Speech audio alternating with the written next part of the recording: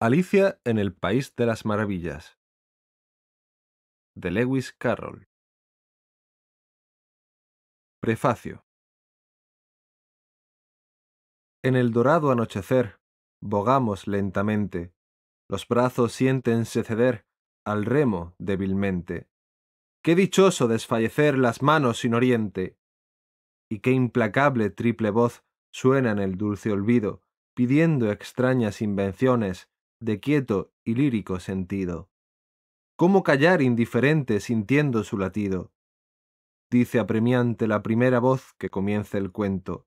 La segunda no nos reclama, lógica de argumento, y nos acucia la tercera con anheloso acento. Oh, qué silencio más profundo se impone a todo ruido. Es la tierra un maravilloso país desconocido, lleno de seres que convierten en real lo fingido cuando la fuente imaginaria se agota en la inventiva y a los cristales del ensueño la luz se les esquiva. Sigue el cuento, claman los seres, que tanto nos cautiva. Así el país maravilloso sobre el yunque del yo, episodio tras episodio, su leyenda forjó, y al ocaso, un mundo de amigos, el alma nos pobló. Recibe, Alicia, este pueril libro con mano tierna, y ponlo allí donde la infancia salva la vida interna, como el ferviente peregrino guarda una flor eterna.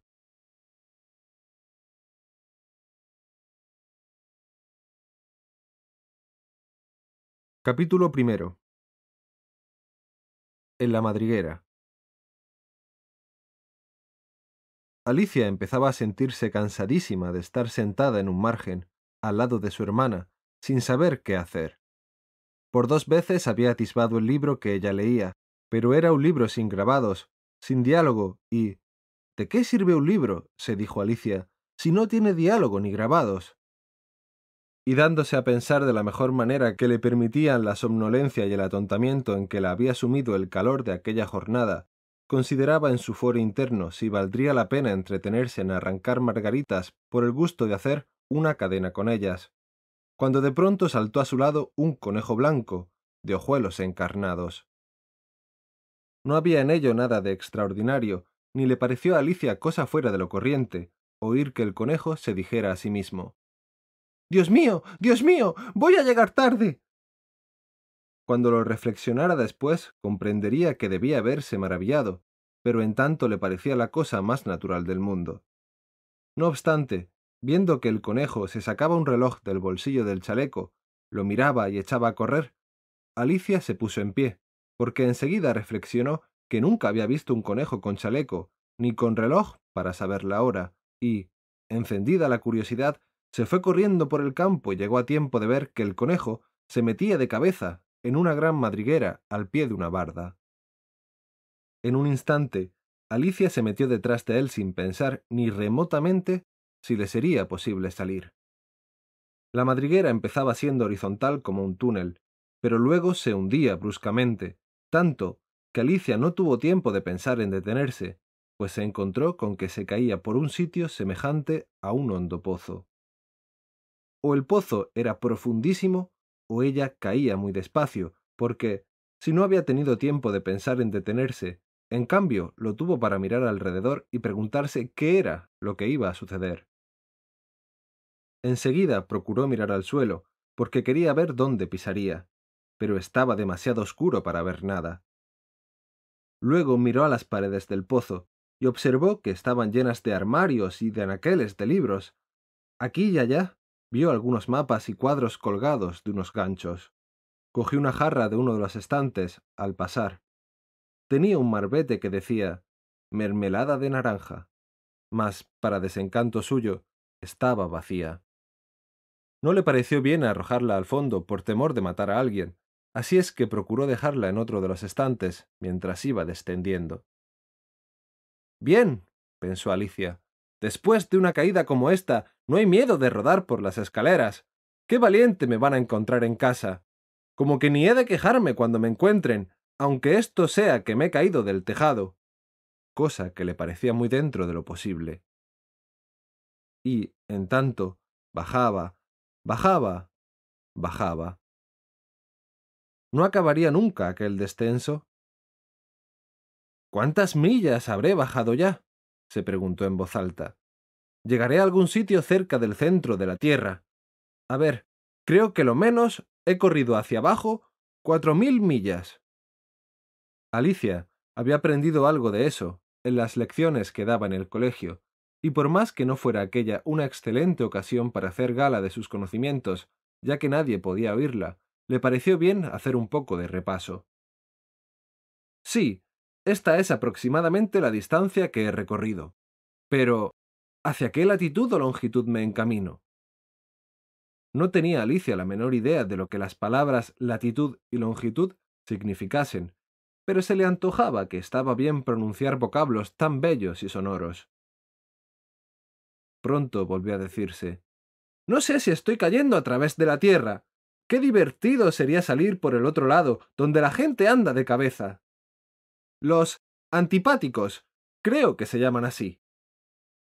Ahora se alegraba de que nadie la oyera, pues no le sonaba del todo apropiada esta palabra. Pero, claro, bien tendré que preguntarles el nombre de su país. ¿Tiene usted la bondad, señora, de decirme si esto es Nueva Zelanda o Australia? Y así pensando, trataba de ensayar cortesías. ¡Cortesías! al paso que caía por el espacio cómo se las compondría. Pero qué ignorante iba a parecerle a la señora a quien hiciera tal pregunta. No, no es cosa de ir preguntando. ¿Acaso lo vea escrito en alguna parte? Abajo, abajo, abajo. No cabía hacer otra cosa. Así es que Alicia pronto reanudó el monólogo. Creo que Dina me echará mucho de menos esta noche. Dina era la gata. Me figuro que no se olvidarán de ponerle su platito de leche a la hora de merendar. Dina, querida mía, quisiera tenerte aquí, a mi lado. Es verdad que en el aire no hay ratones, pero podrías cazar algún murciélago, pues los murciélagos, ¿sabes? Se parecen mucho a los ratones. Ahora, que yo no sé si a los gatos les gustan los murciélagos. Y a esto, Alicia empezó a adormecerse de una manera extraña, repitiéndose. ¿Comen murciélagos los gatos? ¿Comen murciélagos los gatos? Y a veces se equivocaba. ¿Comen gatos los murciélagos? Porque, comprendéis, como no podía contestarse, no importaba alterar así la pregunta. Empezaba a sentir que se dormía de veras, soñando que paseaba de la mano con Dina, e iba diciéndose con viva impaciencia Ahora, Dina, dime la verdad. ¿Has comido alguna vez murciélago? Cuando, de pronto, ¡cataplum! fue a dar sobre un montón de ramas y hojas secas, donde terminó su viaje por el espacio. No sufrió el menor daño y se puso en pie de un salto. Miró hacia arriba, pero allá estaba oscuro. Enfrente de ella se extendía otro largo pasillo, y el conejo blanco corría hacia abajo aún al alcance de su vista. No había momento que perder. Siguió por allí Alicia, ligera como el viento, y todavía llegó a tiempo de oírle decir, al volver una esquina, ¡Válganme mis orejas y mis bigotes! ¡Y qué tarde se me hace! Alicia llegó casi al mismo tiempo que el conejo a la esquina, pero él dobló rápidamente y ella le perdió de vista. Se encontró sola en una larga sala alumbrada por una hilera de lámparas que colgaban del techo. Había puertas alrededor, pero todas estaban cerradas, y, después de ir de un lado a otro probando de abrirlas inútilmente, se dirigió al centro de la estancia pensando cómo se las compondría para salir de allí. Al pronto se dio cuenta de que había una mesa de tres patas toda de cristal macizo. No había encima de ella más que una llavecita dorada, y lo primero que se le ocurrió a Alicia fue pensar que sería alguna de las puertas de la sala. Pero, ¡ay! Para unas cerraduras era grande y en otras iba demasiado holgada, y de ninguna manera pudo abrirlas. Sin embargo, a la segunda vuelta advirtió que había una cortinilla ocultando una portezuela que no llegaría a un metro de altura. Probó allí la llave, y con alegría vio que iba bien. Alicia abrió la puerta y se encontró con que daba a un angosto pasadizo, no mucho más ancho que una madriguera. Se arrodilló para mirar por allí, y vio que al otro lado se extendía el jardín más delicioso que imaginar pudiera. Cuántas ganas tenía de salir de aquella oscura sala e ir a pasear entre aquellos macizos de vistosas flores y aquellas frescas fuentes. Pero apenas podía meter la cabeza por la abertura. Aun suponiendo que mi cabeza pasara, pensó la pobre Alicia, de poco me serviría, separada de los hombros. Oh, cuánto me gustaría poderme encoger como un telescopio. Y creo que podría hacerlo con solo saber cómo empezar. Porque hay que comprender que habían comenzado a pasar cosas tan extraordinarias que Alicia ya creía que apenas había nada en realidad imposible. Poco sacaría de estar esperando delante de aquella abertura, así es que volvió a la mesa de cristal con la confianza de encontrar otra llave, o, en último caso, algún manual de reglas para enseñar a la gente a encogerse como los telescopios. Lo que encontró esta vez fue una botellita que, en verdad, no estaba la vez anterior, se dijo Alicia, y que llevaba atado al cuello un marbete con la palabra Bébeme, lindamente impresa en grandes caracteres. Estaba muy bien decir Bébeme, pero la pequeña y prudente Alicia no lo haría con precipitación. No, antes la quiero examinar bien, no sea que tenga la indicación de veneno.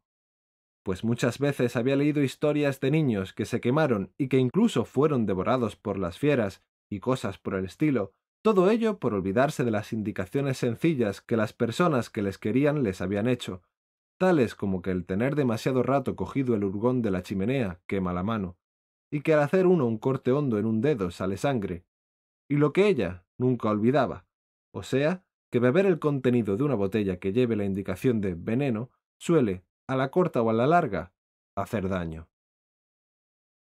Aquella botella, no obstante, no tenía tal indicación, por lo cual Alicia se aventuró a probar su contenido, y, encontrándolo en verdad delicioso, pues tenía una especie de mezcla de sabores de tarta de cerezas, de almíbar, de piña, de pavo asado, de caramelo y de empanada caliente de manteca, se lo acabó en un momento. ¡Qué sensación más extraña! exclamó Alicia. Me debo estar encogiendo como un telescopio. Y así era, en efecto. Ya no tenía más que veinticinco centímetros, y se le encendieron los ojos de alegría pensando que tendría la medida necesaria para pasar por la abertura del jardín. De todos modos, esperó un poco, para convencerse de que no se encogía ya más y se sintió inquieta al pensarlo. Porque podría suceder, se decía Alicia para sus adentros, como comprenderéis, que llegara a acabarme del todo como una bujía. Y la verdad, no sé lo que sería de mí entonces. Y se esforzaba por imaginarse cómo es la llama de una bujía cuando se apaga, y no recordaba haberlo visto nunca. Al cabo de un rato, viendo que no pasaba nada más, decidió salir enseguida al jardín. Pero, ¡ah, pobre Alicia! Al llegar a la puerta encontró con que se había olvidado de la llavecita dorada, y al volver a buscarla, vio que ya no alcanzaba a cogerla de la mesa. La veía claramente a través del cristal, e hizo cuanto pudo por encaramarse por una de las patas, pero era muy resbaladiza y, cuando se rindió de tal esfuerzo, la pobrecilla sentóse en el suelo y se echó a llorar. Vamos, que no sacarás nada llorando de esta manera, se dijo Alicia a sí misma con un poco de dureza. Te aconsejo que dejes de llorar al punto. Con frecuencia se daba excelentes consejos, que casi nunca seguía, y a veces llegaba a reprenderse con tal severidad que se arrancaba lágrimas de los ojos. Hasta se acordaba de que una vez se quiso tirar de las orejas por haberse engañado en una partida de croquet que había estado jugando ella sola pues esta curiosa criatura era muy dada a fingir desdoblamiento de su persona, creyendo ser dos en vez de una. Pero de nada me servirá ahora, pensaba la pobre Alicia, pretender ser dos personas cuando bastante tengo con hacerme una sola persona respetable. Pronto su mirada se fijó en una cajita de cristal que había debajo de la mesa. La abrió y encontró dentro una diminuta torta en la que se leía esta palabra. Cómeme, que estaba trazada con almíbar de grosella. Bien, me la comeré, se dijo Alicia. Y si me hace crecer otra vez, podré coger la llave, y si me hace más pequeña todavía, pasaré por debajo de la puerta. Así, de todas maneras, entraré en el jardín y pase lo que Dios quiera. Dio un mordisquito y se preguntó, llena de ansiedad. ¿Hacia dónde? ¿Hacia dónde?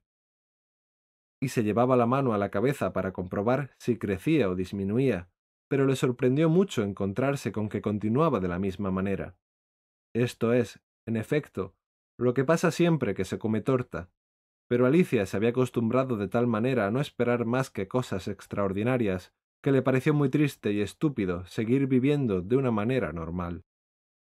Así es que tomó una decisión, y en un momento se comió toda la torta.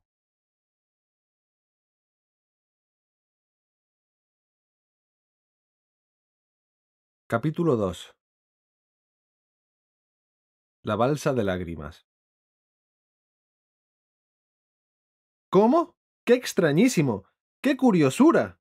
exclamó Alicia, tan llena de asombro, que por un momento se le olvidó hablar con propiedad.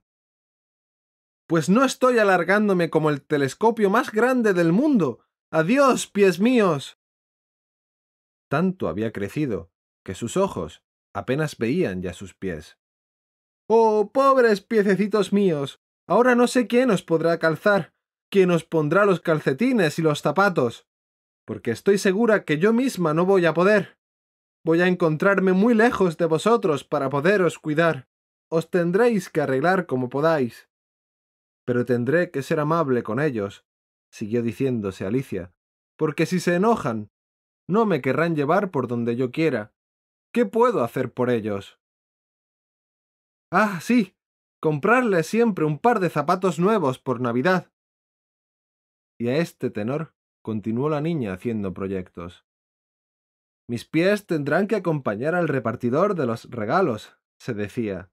Y qué chocante será eso de mandarse uno regalos a sus propios pies. Y qué chocantes serán las señas. Al señor pie derecho de Alicia, en la manta de la chimenea, junto al guardafuegos, con todo el cariño de Alicia. Válgame Dios, ¿y qué tonterías estoy diciendo? En este momento llegó a tropezar con la cabeza en el techo de la sala. En efecto, ahora pasaba de dos metros setenta y cinco centímetros de altura. Cogió la llavecita dorada y se apresuró a volver a la puerta que conducía a la abertura del jardín. Pobre Alicia, no podía hacer otra cosa sino tumbarse de lado y atisbar con un ojo el jardín. Entrar le sería más difícil que nunca. Sentóse y otra vez se puso a llorar. Debieras avergonzarte de ti misma, se reprochó Alicia. Llorar de esta manera una muchacha tan crecida. Bien podía decirlo. Como tú. como yo. Calla al punto, te digo. Pero, ¡ca! siguió vertiendo litros de lágrimas hasta llegar a formar una gran balsa que cubría la mitad del suelo de la sala y que tenía diez centímetros de profundidad. Al cabo de un rato, oyó un lejano ruidillo de patitas y se enjugó los ojos para ver quién llegaba. Era el conejo blanco, que volvía espléndidamente vestido, trayendo en una mano un par de guantes de gamuza y un gran abanico en la otra. Llegó este personaje presurosamente diciendo entre dientes Oh. la duquesita. la duquesita. Ojalá no esté enojada conmigo por haberle hecho esperar tanto. Tan desesperada se sentía Alicia que estaba dispuesta a pedir socorro a cualquiera que fuese, de modo que cuando el conejo se le acercó, empezó a decirle con timidez ¿Tendría usted la bondad, caballero? Pero el conejo se dio bruscamente a la fuga, dejando caer los guantes de gamuza y el abanico, y se desvaneció descortésmente por la oscuridad lo más ligero que pudo. Alicia recogió el abanico y los guantes y, como hiciera bastante calor en aquella sala, se puso a abanicarse murmurando Señor, señor, y qué extrañas son todas las cosas que están pasando hoy. Y pensar que ayer todo pasaba como es debido. ¿Me habré cambiado en otra mientras dormía anoche? Pensemos, ¿era yo la misma esta mañana al levantarme? Diría que entonces era algo distinta de como soy ahora. Pero siendo así, habiendo cambiado de esta manera? ¿Quién debo de ser ahora? ¡Ah, qué gran rompecabezas! Y se puso a hacer memoria de todas las niñas que conocía y que tenían aproximadamente su misma edad, pues temía haber sido transformada en alguna de ellas. Estoy segura de que no soy hada, se decía, pues a ella el pelo le cuelga en largos tirabuzones y a mí no. También estoy segura de que no puedo ser Mabel, pues yo estoy enterada de todo, y ella. Oh, qué pocas cosas sabe Mabel. Además, que ella es ella, y yo soy yo.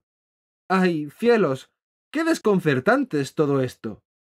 Voy a ver si me acuerdo de todas las cosas que sabía. Veamos. Cuatro por cinco, doce. Cuatro por seis, trece. Y cuatro por siete... Nada, nada. No puedo llegar de ninguna manera a veinte. De todos modos, no acordarse de la tabla de multiplicar no quiere decir nada. A ver la geografía. Londres es la capital de París. París es la capital de Roma. Y Roma es la cap... No, no, nada de eso.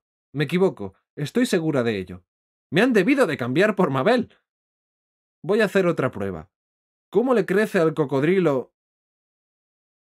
Así diciendo, cruzó las manos sobre la falda, como si estuviera repasando una lección, y volvió a repetir esas palabras, pero la voz le sonaba áspera y extraña, y las palabras no le salían como de costumbre al repetir la fábula del cocodrilo. ¿Cómo le crece al cocodrilo la reluciente y larga cola? Y va tragando agua del Nilo, porque no suele venir sola. Ríe su boca puntiaguda, abre sus zarpas fieramente, y a todos los peces saluda y los devora sonriente. Estoy segura de que no es así, dijo la pobre Alicia, y se le empezaron a llenar otra vez los ojos de lágrimas. Debo de ser Mabel, no hay duda, no hay duda, y tendré que ir a vivir a aquella casita y no tendré juguetes, y siempre un horror de lecciones que aprender. Pero no, estoy resuelta. Si ahora soy Mabel, no saldré de aquí. Será en vano que se asomen a lo alto y me griten Sal de ahí, nena. porque me limitaré a levantar la cabeza para preguntarles Pues decidme, ¿quién soy? Contestadme primero, y luego, si me gusta ser tal persona, ya saldré. De lo contrario, no me arrancan de aquí hasta convertirme en otra. Pero, ay, mamá.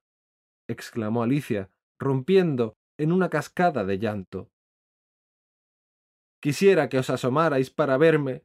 Estoy tan cansada de verme sola. Y así diciendo, se dio cuenta de que se había puesto mecánicamente uno de los diminutos guantes de gamuza del conejo. ¿Cómo he podido hacerlo? pensó. Me he debido de volver pequeñita otra vez. Se levantó y se acercó de nuevo a la mesa para medirse la talla, y se encontró con que, casi tal como lo había sospechado, llegó a reducirse de tal manera que ahora no levantaba del suelo poco más de medio metro, y aún continuaba achicándose rápidamente. Pronto se percató de que la causa de ello estaba en el abanico que tenía en la mano, y lo soltó al punto, a tiempo de no llegar a desaparecer del todo. Por poco me he salvado. exclamó Alicia, bastante alarmada ante la nueva transformación, pero contentísima de verse sana y salva. Ahora. al jardín. Y así diciendo, echó a correr con todas sus fuerzas hacia la puertecita de salida, pero. ¡ay! volvía a estar cerrada. y la llavecita dorada. continuaba encima de la mesa de cristal. La cosa está peor que nunca. exclamó la pobre criatura. Porque ahora soy mucho más pequeña aún que antes. Confieso que esto ya es imposible. Al pronunciar estas palabras, ¡tras! resbaló y se encontró con que había caído en un sitio repleto de agua salada que le llegaba hasta más arriba del cuello. Al pronto se le antojó que se había caído al mar. Siendo así, podré volver en tren, se dijo, porque Alicia, que fue una vez a cierta playa en verano, llegaba a la conclusión de que en todas las costas debe de haber barcas y patines para los bañistas, niños en la arena jugando con sus palas de madera, una fila de casetas, y detrás la estación del ferrocarril. Sin embargo, pronto se dio cuenta de que donde había caído era en la balsa de lágrimas que había formado al llorar cuando medía dos metros y setenta y cinco centímetros. Ojalá no hubiera llorado tanto, dijo Alicia, probando de nadar para encontrar el suelo seco. Supongo que mi castigo será ahogarme en mi propio llanto. Ciertamente que sería cosa extraña, pero es que hoy todo lo es. Luego oyó un chapoteo que alguien hacía cerca de ella, y se volvió hacia allí para ver lo que pasaba. Al pronto temió que se tratara de una morsa o de un hipopótamo, pero se acordó de lo minúscula que se había hecho, y comprendió que todo se le hacía grande y que no se trataba sino de un ratón que se había caído como ella. ¿Valdrá la pena hablar ahora a ese ratón? se preguntó Alicia. La verdad es que todo está sucediendo de una manera tan poco corriente en estas profundidades, que creo muy posible que el ratón sepa hablar, y, al fin y al cabo, por dirigirle la palabra, nada saldré perdiendo. Razonando de esta manera, le dijo Oh, ratoncito. ¿Sabe usted cómo salir de este charco? ¡Ay, qué cansada estoy, ratoncito, de nadar de un lado a otro! Alicia supuso que a un ratón se le tenía que hablar así. Nunca se había visto en tal caso, pero recordaba haber leído en la gramática latina de su hermano lo siguiente. El ratón del ratón. A o para el ratón. O ratón. Con, de, en, por, sin, sobre, tras el ratón. El ratoncillo la miró con ojos un poco inquisitivos, y aún le pareció que guiñaba un poco el ojo, pero no le dijo nada. ¿Acaso no entienda el castellano? pensó Alicia. ¿Será un ratón francés? De los que vendrían con Napoleón. Alicia no tenía más claras ideas históricas y no sabía que de los ratones del tiempo de Napoleón no vivía ya ninguno. Así es que se le ocurrió preguntarle ¿Où est Machat? Que era la primera frase de su manual de temas franceses. Al oír esto, el ratón dio un brinco inesperado por encima del agua, temblando de miedo al parecer. ¡Ay! Usted perdone. se apresuró a exclamar Alicia, temerosa de haber herido al pobre animal en sus sentimientos. Se me olvidaba que no le gustan los gatos. ¿Que no me gustan los gatos? exclamó el ratón con voz dramática y chillona. ¿Te gustarían a ti los gatos si fueses ratón? Claro, es posible que no, dijo Alicia, suavizando el tono de su voz. No hay que enfadarse por eso.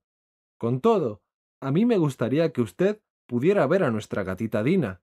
Creo que le empezarían a ser simpáticos los gatos con solo verla. Es un animalito más lindo y más pacífico. Alicia continuó hablando para sí misma, en tanto que seguía nadando descuidadamente y se enrosca runruneando tan graciosa junto al fuego, y se lame tan bien las patitas, y se lava con tanta monería la cara, y es tan agradable tenerla en brazos, y es tan valiente cazando ratones. ¡Oh! perdón. exclamó otra vez Alicia, pues el ratón ahora se erizaba con verdadero susto, y era natural que sintiera un gran enojo. Si no le gusta, no volvamos a hablar de ella. Naturalmente, respondió el ratón, que temblaba desde la punta de las orejas a la del rabo. Pero lo dices como si yo hubiera hablado nunca de eso. Nuestra familia siempre aborreció a los gatos. Son una cosa repugnante, miserable y vulgar. Que no vuelva a oír yo ese nombre. Le prometo no volver a pronunciarlo, dijo Alicia, apresurándose a cambiar de conversación. ¿Es usted amigo. amigo de de los perros? El ratón no respondió. Así es que Alicia agregó, llena de incertidumbre. Hay cerca de casa un perrito tan mono que me gustaría que lo conociera. Es un pequeño terrier de ojillos brillantes, ¿sabe usted?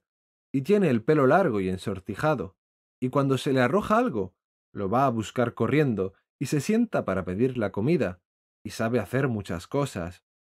No puedo acordarme de todo. Su amo es un labrador que tiene una granja, y dice que su perro es tan servicial que no lo daría por cien libras. Dice que mata todas las ratas y que... ¡Oh! ¿Qué digo? ¡Tonta de mí! dijo interrumpiéndose la niña con gran sentimiento. Ahora sí que he debido de enojarle de veras. Y así debía de ser, en efecto, pues el ratón se había lanzado otra vez a nado con todas sus fuerzas para alejarse de ella, y al hacerlo agitaba toda el agua de la balsa. Entonces ella exclamó dulcemente, yendo en pos de él. Ratoncito. Ratoncito lindo. Vuelva, vuélvase atrás, que no hablaremos de gatos ni de perros, si no le gusta. Oyendo estas palabras, el ratón se volvió y se acercó a ella, nadando tranquilamente. Parecióle a Alicia que tenía la cara muy pálida de rabia, y él le dijo con una vocecilla temblorosa Vamos a la orilla, y te contaré mi historia para que comprendas por qué aborrezco a los gatos y a los perros. Era ya hora de ir a la orilla, pues todo el lago se estaba poblando de pájaros y animales que iban cayendo. Había un pato, un lorito, un pájaro bobo y un aguilucho, entre otras diversas y curiosas criaturas. Alicia dirigió la marcha, y todos la siguieron nadando hasta la orilla.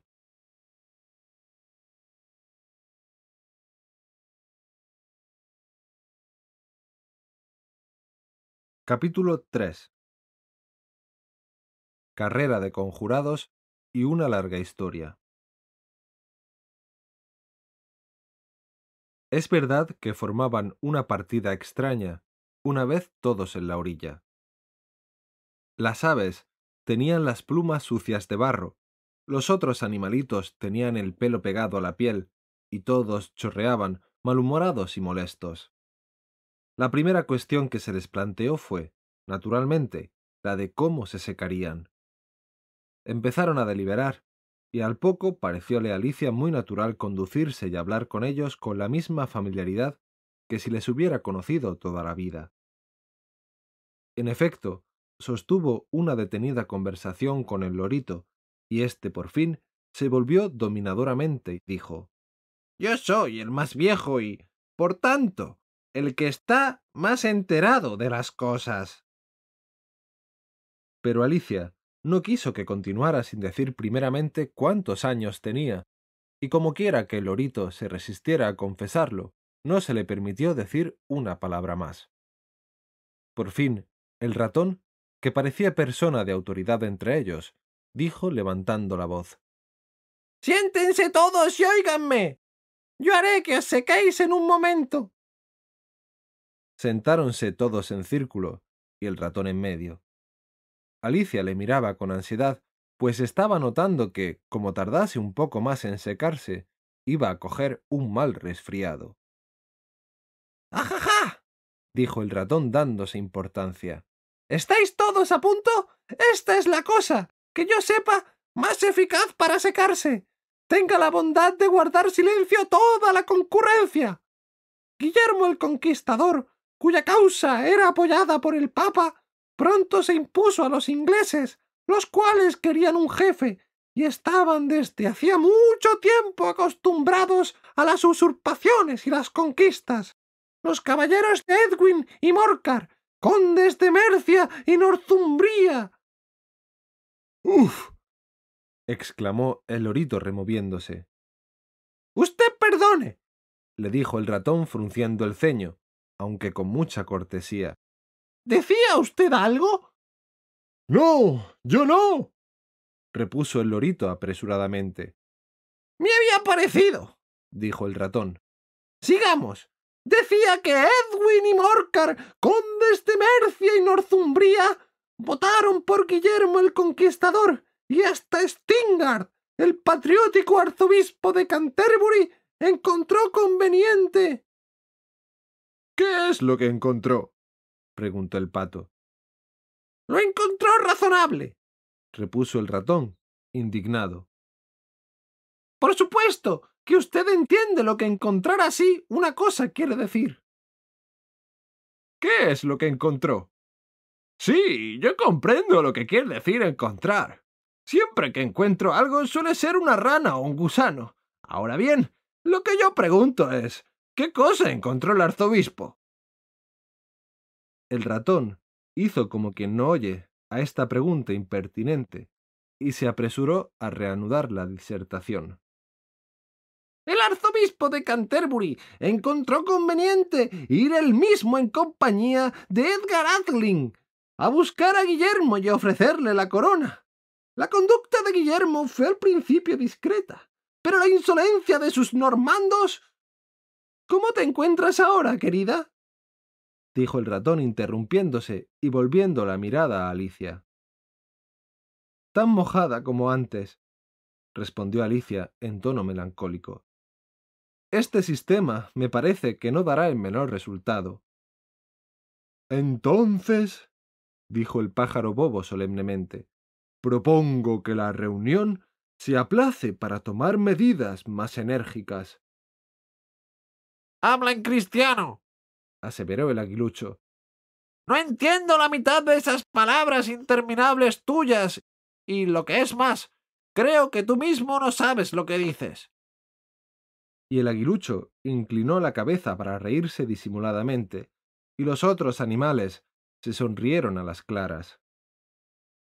Pues lo que yo iba a decir, prosiguió el pájaro bobo en tono de animal ofendido, es que lo mejor para secarse es hacer una carrera de conjurados.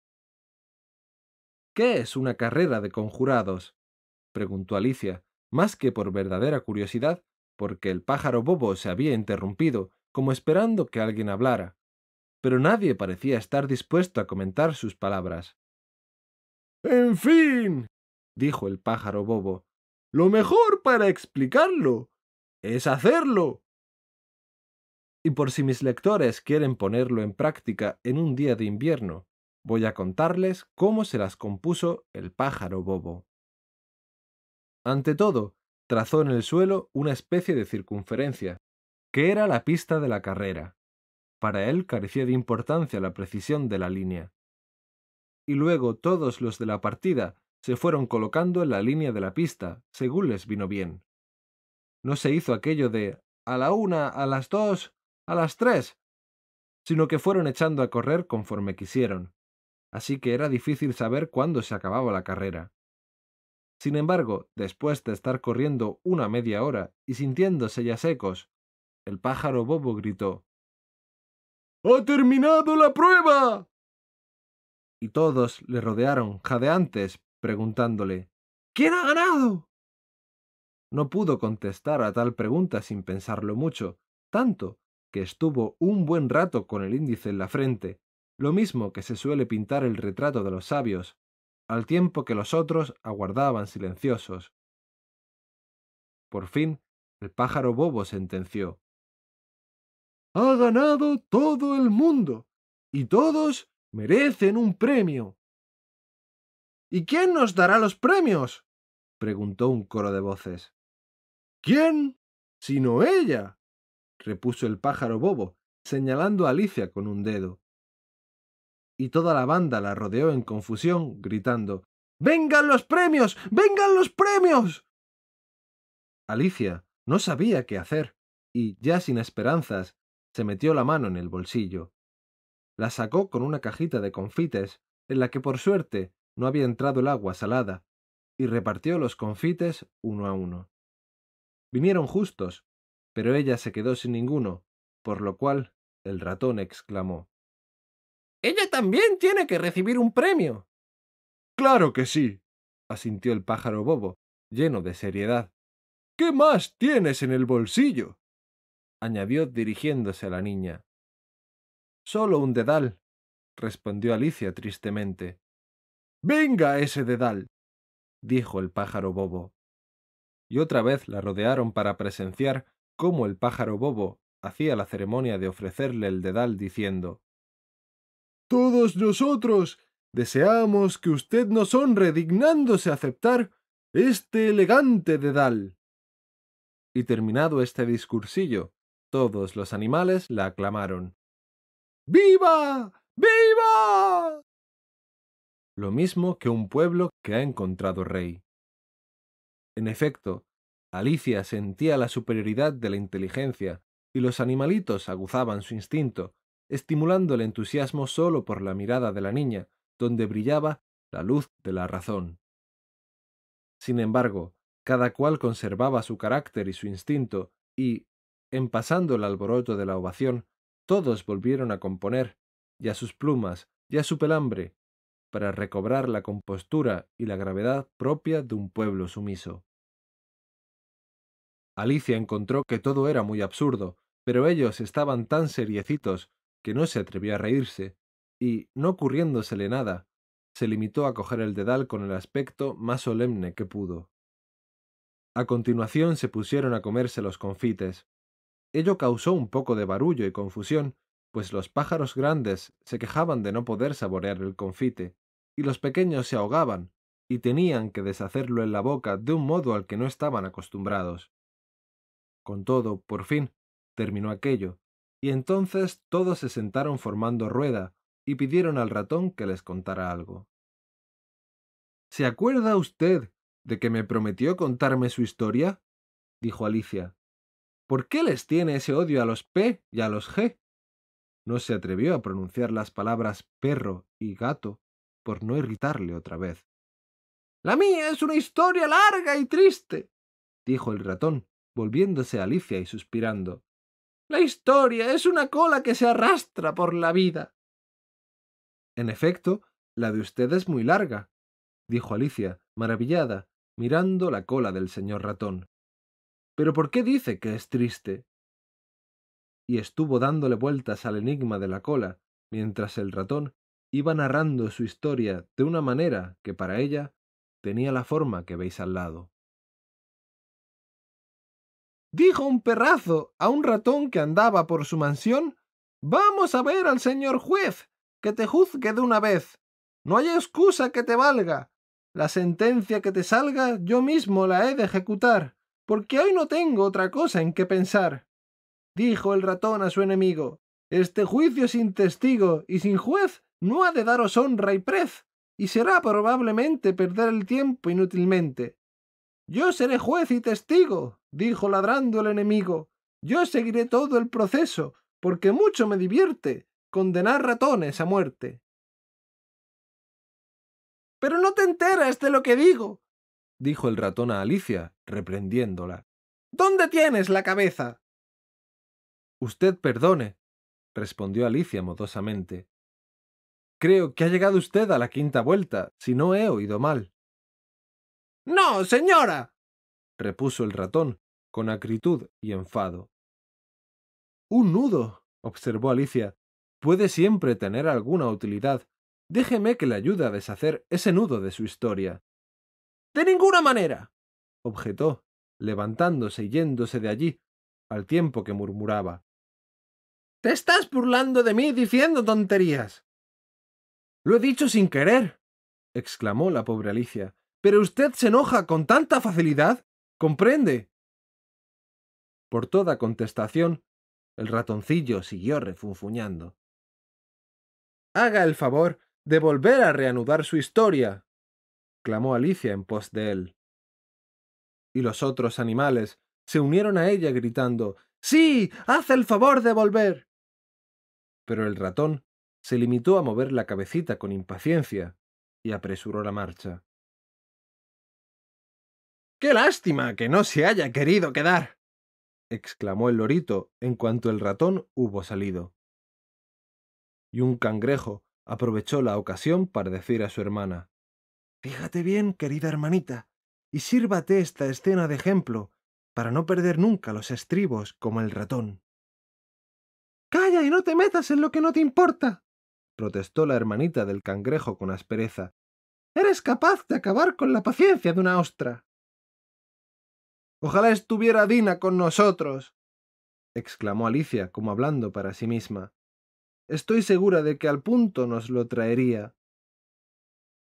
¿Y quién es Dina, si puede saberse?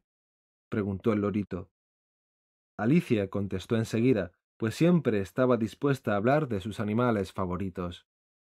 Dina es una gatita, y no tenéis ni idea de lo lista que es para atrapar ratones. ¡Ay! ¿Cómo me gustaría que la vierais ahora persiguiendo pájaros! Se zampa un pajarito en un santiamén. Estas palabras causaron honda impresión en la concurrencia. Algunos de los pájaros que se hallaban presentes se apresuraron a levantar el vuelo. Una urraca que estaba entre ellos se acurrucó, abrigándose bien entre las plumas, e hizo esta observación. Siento tener que irme a casa, pues está levantando un relente que me ataca la garganta. Un canario empezó a llamar así a sus pequeñuelos con voz vibrante. Vamos pronto, hijitos. Ya es hora de que estéis durmiendo en vuestra camita. ¿Por qué habría hablado de Dina?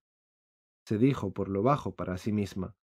Por lo visto, nadie la quiere por aquí. Pero estoy segura de que es la gata que más vale del mundo. Dina mía, Dina mía, ¿te volveré a ver? Y otra vez Alicia rompió a llorar, porque se encontraba muy sola y muy abatida. Sin embargo, al rato volvió a percibir un ruidito de pisadas a lo lejos, y empezó a mirar hacia el lado del ruido, con la esperanza de que el ratón hubiese cambiado de propósito y volviera para terminar el relato de su historia.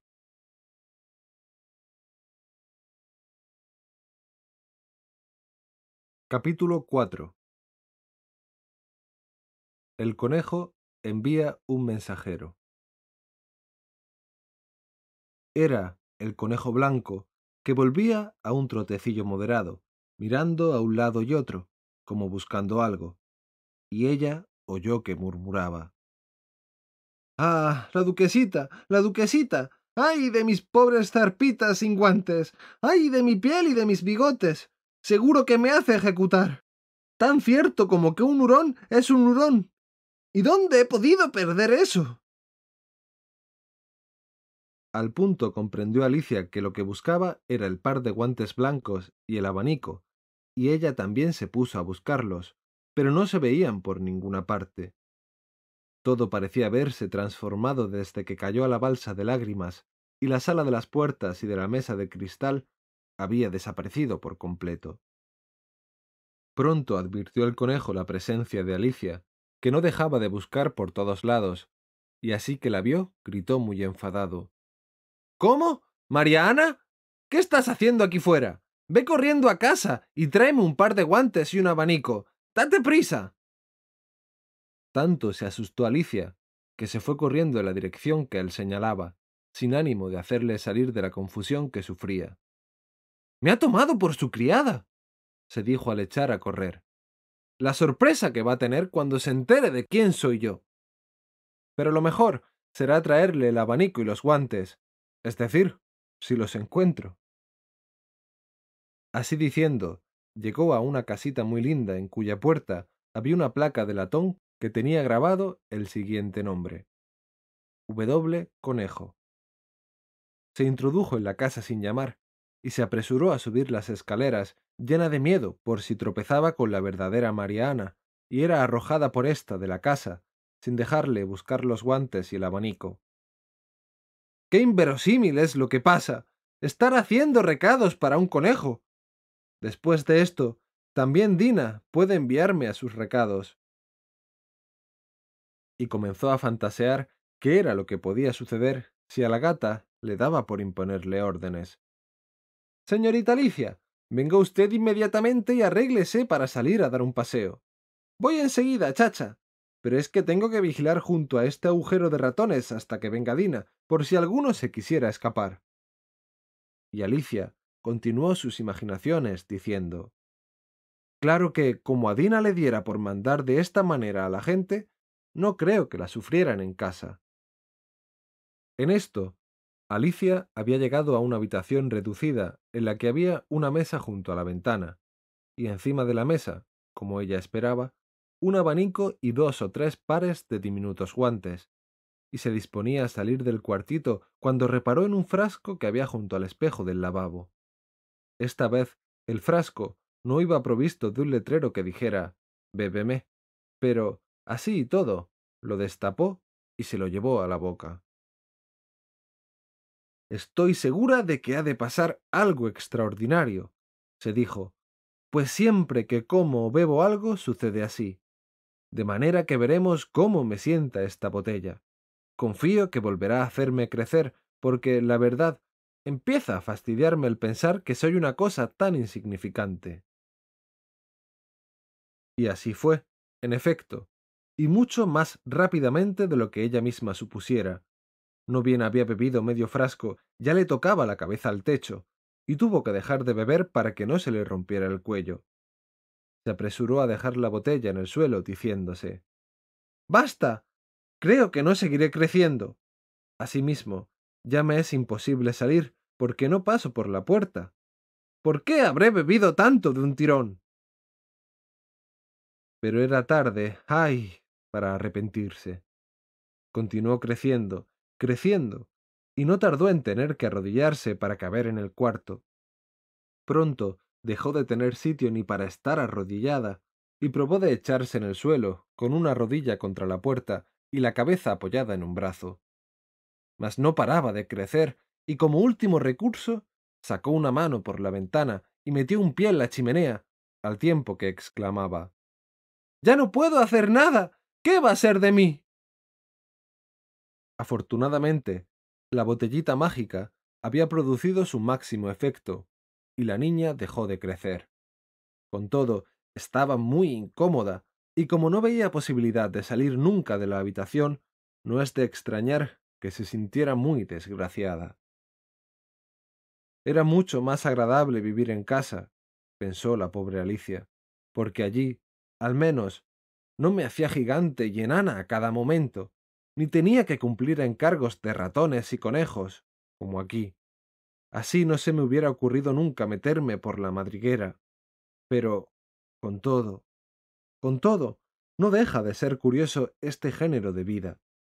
Yo misma no sé lo que ha podido pasarme. Cuando solía leer libros de hadas y fábulas, creía que tales cosas no podían ocurrir. Y heme aquí ahora metida en una de ellas. Tendría que escribirse un libro acerca de mí. Sí, tendría que hacerse mi libro. Cuando sea mayor, yo misma lo escribiré. Pero, ¿no acabo de hacerme mayor? se preguntó, llena de pesar. Menos mal que ya no hay sitio para seguir creciendo. Pero, siendo así, siguió discurriendo Alicia, no podré ser mayor nunca. Por una parte, será una ventaja no llegar nunca a vieja, pero, en cambio, mira que tener que estar siempre estudiando lecciones. Oh, no, no me gustaría. Pero qué tonta eres, Alicia, se dijo de pronto en voz alta. ¿Cómo quieres estudiar aquí las lecciones si apenas tienes sitio para ti y no podrías poner en ninguna parte los libros?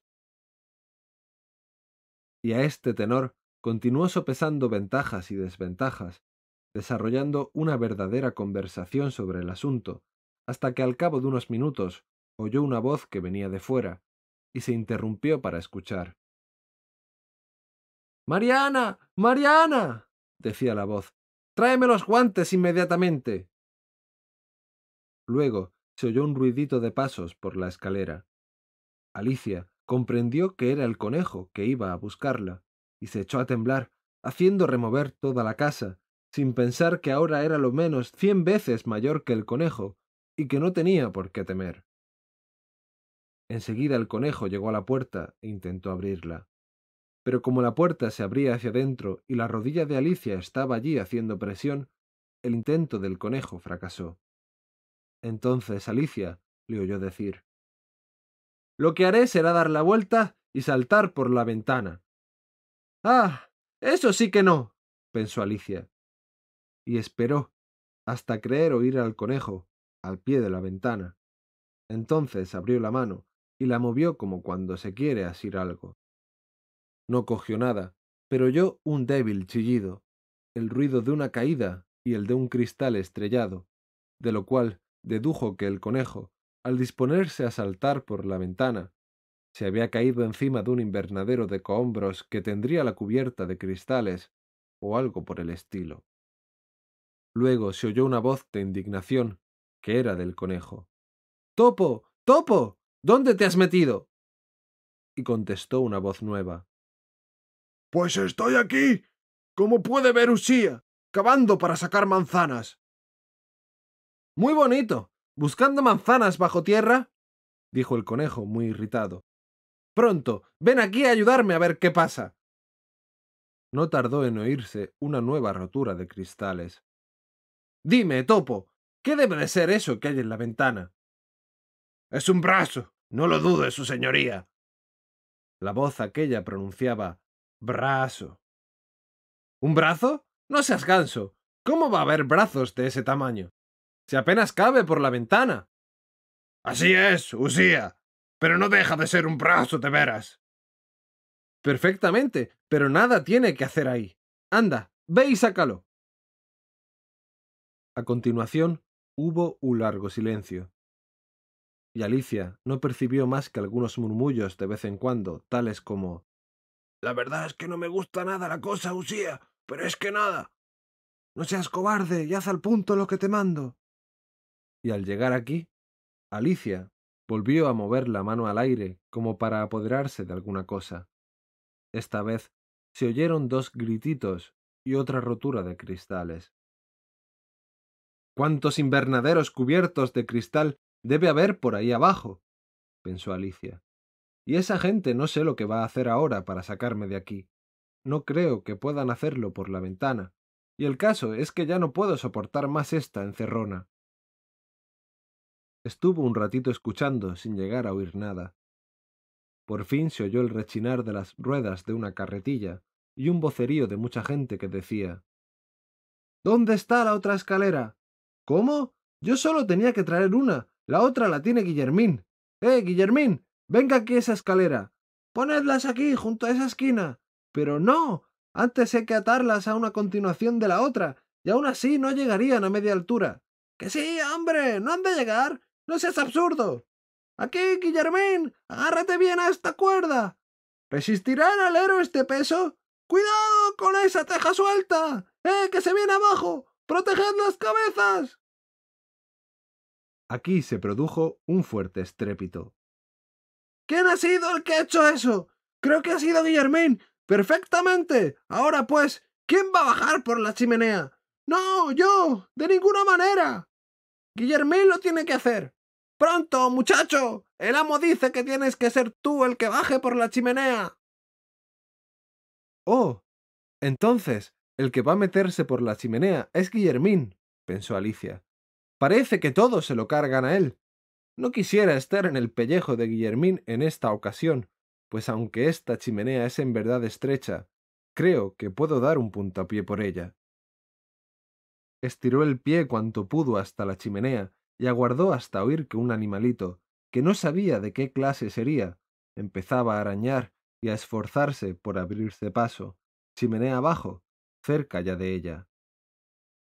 Aquí está Guillermín, se dijo, y dio un puntapié. Luego esperó los resultados. Lo primero que oyó fue un coro general que decía Por ahí va Guillermín. Luego la voz sola del conejo que ordenaba Dadle caza por la barda. Y después de otro breve silencio se reanudó el vocerío confuso. Sosténle la cabeza. ¿Qué hace ese aguardiente?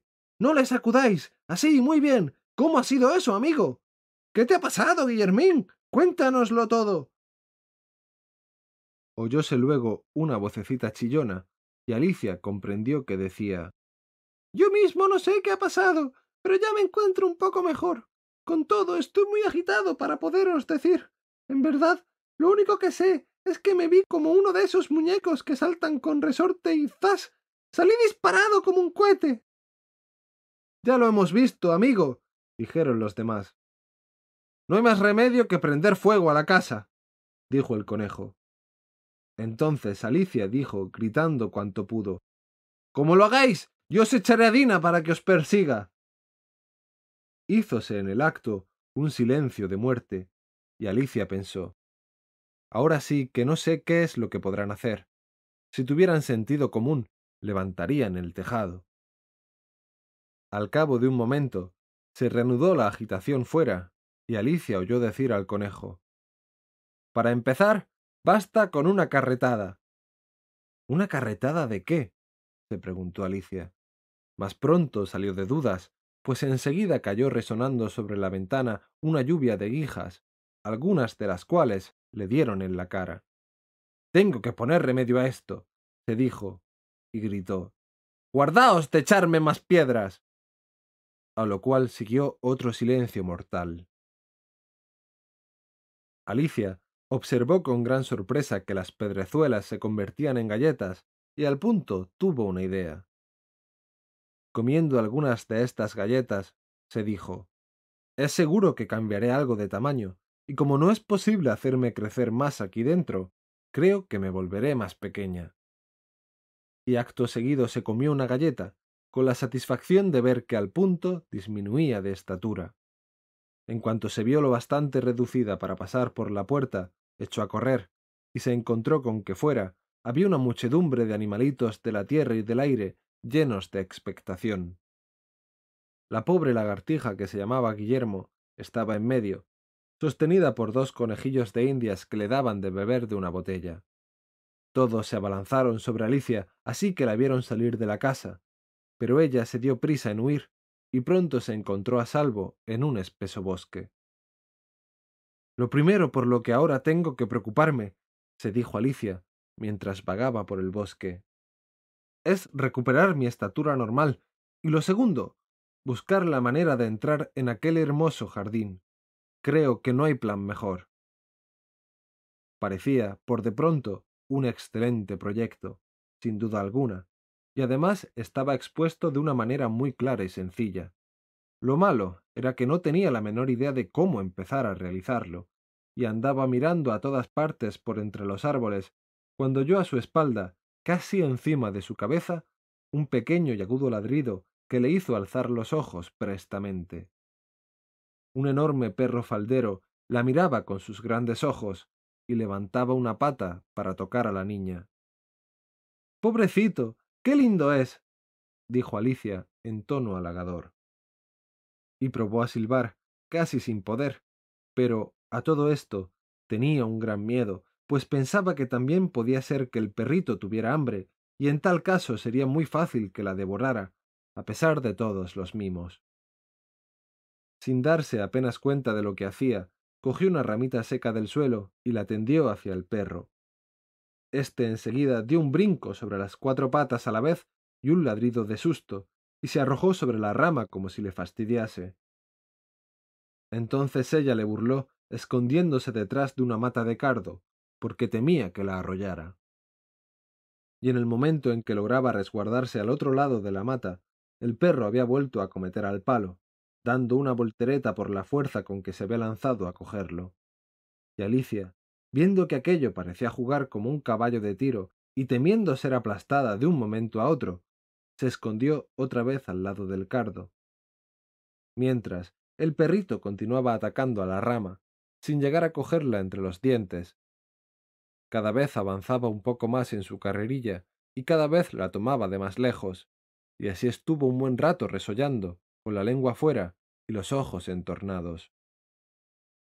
Pareciéndole a Alicia una excelente ocasión para escapar, se dio a correr, a correr hasta sentirse rendida y sin aliento, mientras los ladridos del perro apenas se oían sino perdidos en la distancia. Pero, a pesar de todo, ¡qué perrito más guapo! exclamó Alicia, y se apoyó en un amargón para descansar, abanicándose con una de sus hojas cuánto me habría gustado enseñarle juegos, si tuviera.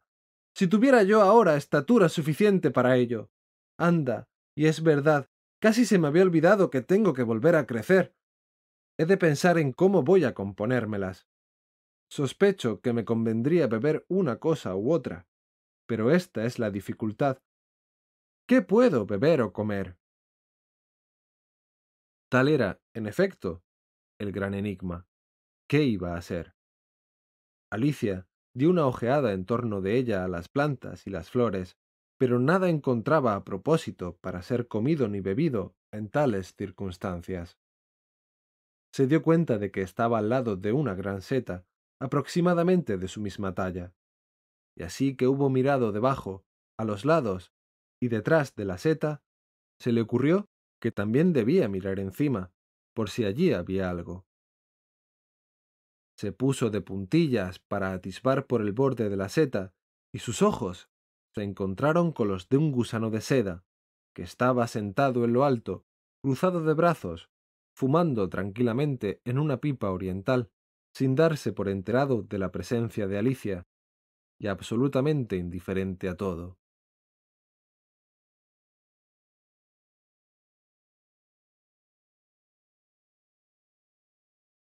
Capítulo 5 El consejo del gusano de seda Luego, Alicia y el gusano de seda se estuvieron mirando un rato sin decirse nada. Por fin, el gusano de seda se quitó de los labios el extremo de la pipa y se dirigió a Alicia con voz lánguida y adormecida.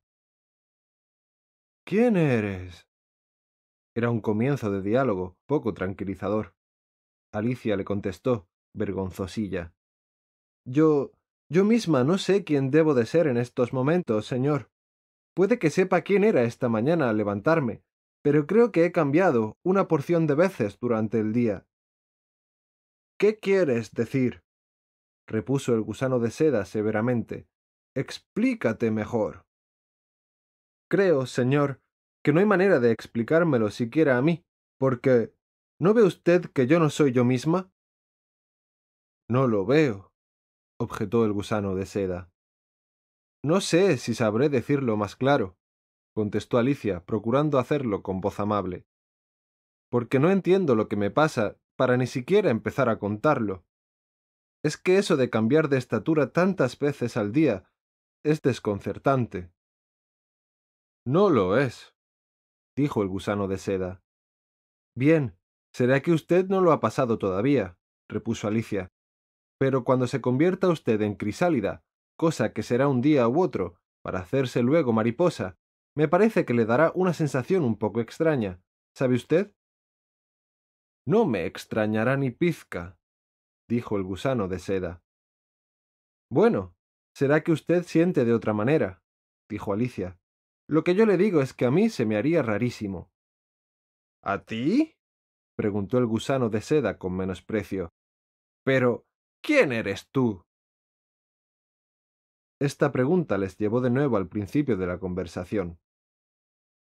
Alicia se sentía un poco molesta por los bruscos reparos del gusano de seda, por lo cual, irguiéndose muy seria, le dijo Creo que debiera usted empezar por decirme quién es usted.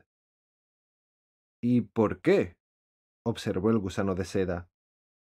Esta era otra pregunta desconcertante, y como quiera que Alicia no acertara a responder y el gusano de seda no saliese de su actitud antipática, la niña dio media vuelta para irse. Pero entonces el gusano de seda la llamó así. Vuelve acá. Tengo que decirte una cosa muy importante. Estas palabras eran en verdad una promesa. Alicia se acercó otra vez. Un consejo, le dijo el gusano de seda. Procura no irritarte nunca. ¿Es cuanto tiene que decirme? repuso despechada Alicia, dominando su enojo. No, agregó el gusano de seda. Alicia pensó que lo mejor sería armarse de paciencia, puesto que no tenía otra cosa que hacer, y así tal vez le oiría algo razonable al fin y al cabo. El gusano de seda empezó a echar con empaque unas cuantas bocanadas de humo, y luego, quitándose otra vez de la boca el extremo de la pipa, dijo con que te parece que estás cambiada en otra, ¿no es eso? Ese es mi temor, caballero, dijo Alicia, pues no recuerdo las cosas como antes, y no conservo la misma estatura diez minutos seguidos. ¿Qué cosas son las que no recuerdas? Pues he intentado recordar la fábula de cómo se afama la abejita, pero me ha salido no sé qué de un cocodrilo repuso Alicia con voz llena de melancolía. A lo que el gusano de seda ordenó. A ver, repite aquello de Eres viejo, padre Guillermo. Alicia se cruzó de brazos y dijo así.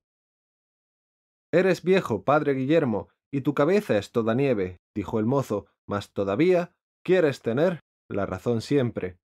Cuando era joven, dijo el padre, temí que el tiempo entonteciese.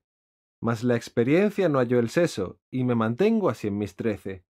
Eres viejo, repite el hijo, y tu gordura es imponente. ¿Cómo es que das saltos mortales como si fueras un monzalbete?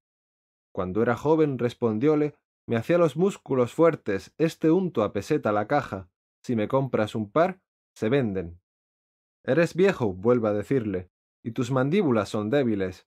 ¿Cómo, pues, devoras un pato sin que dejen hueso tus dientes? Cuando era joven discutía con mi mujer constantemente, y así la boca se me hizo para toda la vida fuerte. Eres viejo, el mozo insistió, mas la vista no se te pierde, que aún nos harías equilibrios llevando una anguila en la frente. A tres preguntas contesté, replica el padre, ya impaciente. ¿Me darás la tabarra diez años? No te doy con el pie, pero vete. No es así, dijo el gusano de seda. Creo que no, le contestó Alicia con timidez. Se me han cambiado algunas palabras. Ca. Lo has dicho mal, de cabo a rabo, sentenció el gusano de seda. Y siguieron unos minutos de silencio. El gusano de seda fue el que reanudó la palabra. ¿De qué tamaño quieres ser? le preguntó. Oh, me da lo mismo, se apresuró a contestar Alicia. Lo que me desagrada es esto de cambiar cada dos por tres, ¿sabe usted? Yo no lo sé, volvió a decir el gusano de seda. Alicia no replicó. En su vida la habían contradicho de tal manera, así es que sentía perder por momentos la calma. ¿Estás contenta con tu estatura de ahora? le preguntó el gusano de seda. Sí, pero preferiría ser un poquitín más alta, señor, si a usted le diera lo mismo, dijo Alicia. Eso de no medir más que siete centímetros es una cosa tan insignificante. Al contrario, es verdaderamente una buena talla, dijo el gusano de seda, enfadado, estirándose cuanto pudo. Él medía exactamente siete centímetros. Pero yo no estoy acostumbrada, exclamó la pobre Alicia, como pidiendo compasión, y se dijo para sí ¿Por qué se molestará esta criatura tan fácilmente? No tardarás en acostumbrarte, replicó el gusano de seda, llevándose de nuevo la pipa a la boca, para fumar con fruición. Y Alicia optó por esperar, sin decir palabra, que él volviera a hablar. No tardó más de dos minutos el gusano de seda en volverse a sacar la pipa de la boca. Dio un par de bostezos y se sacudió todo él. Luego bajó de la seta y se fue arrastrando por la hierba al mismo tiempo que decía Un lado te hará crecer, el otro disminuir. Y Alicia pensó ¿Un lado de qué? ¿Y el otro lado de qué? De la seta, respondió el gusano de seda, como si ella se lo hubiera preguntado en voz alta. Y al cabo de un momento se perdió de vista. Alicia se quedó un rato pensativa, contemplando la seta, en un esfuerzo por descubrir cuáles eran sus lados. Pero como era redonda, se le hacía muy difícil determinarlo. Y extendió cuanto pudo los brazos abarcándola, y arrancó con cada mano un pedacito del borde de la seta. ¿Cuál es cuál? se preguntó y mordió un pedacito del fragmento que tenía en la mano derecha, para ver qué efecto le producía. Sintió en el acto un rudo golpe en la barbilla. Le había tropezado el mentón con los pies. Grande susto fue el suyo al sufrir tan brusco cambio, pero comprendió que no tenía tiempo que perder, según se iba encogiendo, y se apresuró a poner remedio dando un mordisquillo al otro pedacito de seta. Tanto se le había juntado la barbilla a los pies que apenas podía abrir la boca, mas por fin lo consiguió y pudo tragar un fragmento del pedazo que tenía en la mano izquierda. ¡Qué bien! Ya puedo mover a gusto la cabeza. exclamó Alicia en un tono de regocijo que presto se convirtió en alarma, pues se encontró con que había dejado de poderse ver los hombros, como si los hubiera perdido. Al mirar al suelo, no vio otra cosa, sino un larguísimo pedazo de cuello, que como un tallo se levantaba de un dilatado mar de verde follaje. ¿Qué debe ser toda esa cosa verde? preguntó Alicia. ¿Y dónde se me han ido los hombros? Y vosotras, pobres manos mías, ¿cómo es que nos veo? Moviólas al hacerse esta pregunta, pero nada vio, aunque sí notó que se agitaban las verdes hojas distantes. Convencida de que no le era posible llevarse las manos a la cabeza, pensó bajarla hasta las manos, y vio, encantada, que podía doblar fácilmente el cuello en todas direcciones, como una serpiente. Había conseguido doblarlo por completo en una graciosa curva, y se disponía a sumergir la cabeza en el oleaje de verdor que resultó ser la extensión de los árboles bajo los cuales había estado vagando, cuando oyó un silbido agudo que la obligó a erguirse de nuevo con presteza. Una gran paloma se le había lanzado a la cara y le daba recios aletazos. ¡Qué serpiente! dijo chillando la paloma. No soy una serpiente, protestó Alicia, indignada. Déjeme usted en paz. Sí, eres una serpiente, insistió la paloma, aunque bajando un poco el tono, para añadir enseguida, en una especie de suspiro Todo lo he intentado y no consigo ponerlos a salvo. No tengo la menor idea de lo que quiere decir. He probado ponerlos entre raíces de árboles, en los bancales, en las márgenes, prosiguió la paloma, sin hacer caso a lo que le decía. Pero. ¡Ah! estas malditas serpientes. no hay manera de esquivarlas. El asombro de Alicia subía de punto, pero la niña creyó que no debía decir nada hasta que la paloma pusiera término a sus exclamaciones. Por si no diera bastante que hacer el empollar, proseguía la paloma. Hay que estar día y noche vigilando que no vengan las serpientes por los huevos. Tres semanas llevo sin pegar el ojo. Siento mucho que la molesten a usted de esa manera, dijo Alicia, que ya empezaba a comprender. Y precisamente cuando me había acomodado en el árbol más alto del bosque, agregó la paloma, levantando la voz en un chillido. Y precisamente cuando me creía libre por fin de sus ataques, resulta que también bajan retorciéndose por el aire. ¡Uf! ¡Quita de ahí, serpiente! Pero si le digo que yo no soy una serpiente, yo soy. ¿Qué eres tú si no? le preguntó la paloma. Bien se ve que estás pensando cómo engañarme. Yo. yo soy una niña. dijo Alicia, poco segura de sí misma, pues no podía olvidar que durante el día había sufrido una porción de transformaciones. ¡Linda invención! ¡A fe mía! dijo la paloma en tono del más profundo desprecio. Pues no he visto yo pocas niñas, pero ninguna tenía ese pedazo de cuello. ¡Ca! Lo que tú eres es una serpiente. No te sirve negarlo. Supongo que luego dirás que en tu vida has probado un huevo. Sí, he comido huevos, dijo Alicia, que era una criatura que no sabía mentir. Pero es que las niñas comen huevos, lo mismo que las serpientes. No lo creo, dijo la paloma. Y si lo hacen, no te digo más, sino que son una especie de serpientes. Fueron tan inesperadas estas palabras que Alicia se quedó un rato sin acertar a decir nada. Bien veo que lo que estás haciendo es buscar huevos, añadió la paloma, ¿Y qué me importa a mí, pues, que seas niña o serpiente? Pero a mí me importa mucho, se apresuró a decir Alicia. Conste que, aunque lo parezca, no ando a la busca de huevos, y que, aunque así fuera, no cogería nunca los de su nido, porque estarán crudos, y así no me gustan. No importa, vete de una vez. dijo por fin la paloma gruñonamente, al tiempo que se volvía a colocar en su nido.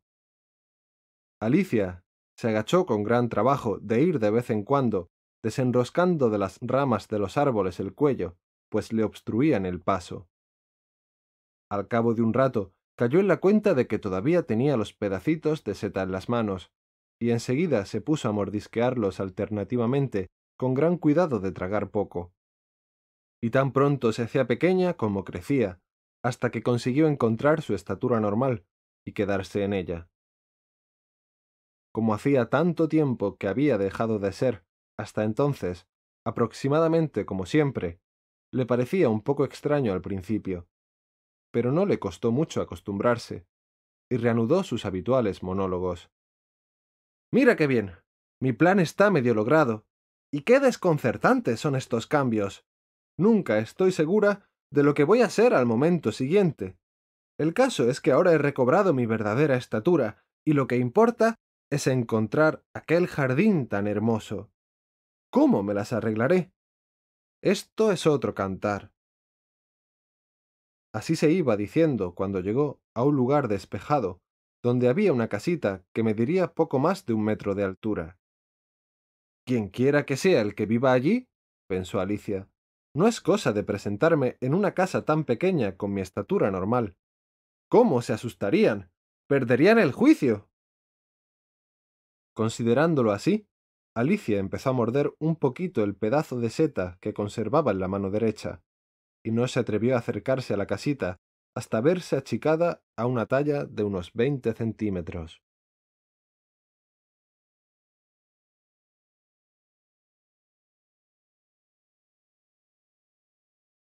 Capítulo 6 Cerdo y pimienta Por uno o dos minutos, Alicia se quedó contemplando la casa y pensando qué partido tomar cuando al pronto salió corriendo del bosque un criado con uniforme. Al menos a ella se le antojó un criado, porque llevaba librea. Por otra parte, a juzgar solo por su cara, se diría que se trataba de un pez. Se acercó el hombrecillo a la puerta y golpeó con los nudillos, abriendo otro criado de librea, que tenía la cara redonda y unos ojos grandes de rana. Alicia observó que los dos criados llevaban el cabello ensortijado y empolvado. Despertósele tal curiosidad de saber lo que pasaba, que salió del bosque cautelosamente y se acercó un poco para escuchar. El criado de cara de pez empezó por sacarse de debajo del brazo una carta casi tan grande como él, y se la entregó al otro diciendo en tono solemne Para la señora duquesa. Invitación de la reina a una partida de croquet. El criado de cara de rana repitió con la misma solemnidad las palabras, pero alterándolas un poco, en esta forma. De la reina. Invitación a la señora duquesa para una partida de croquet.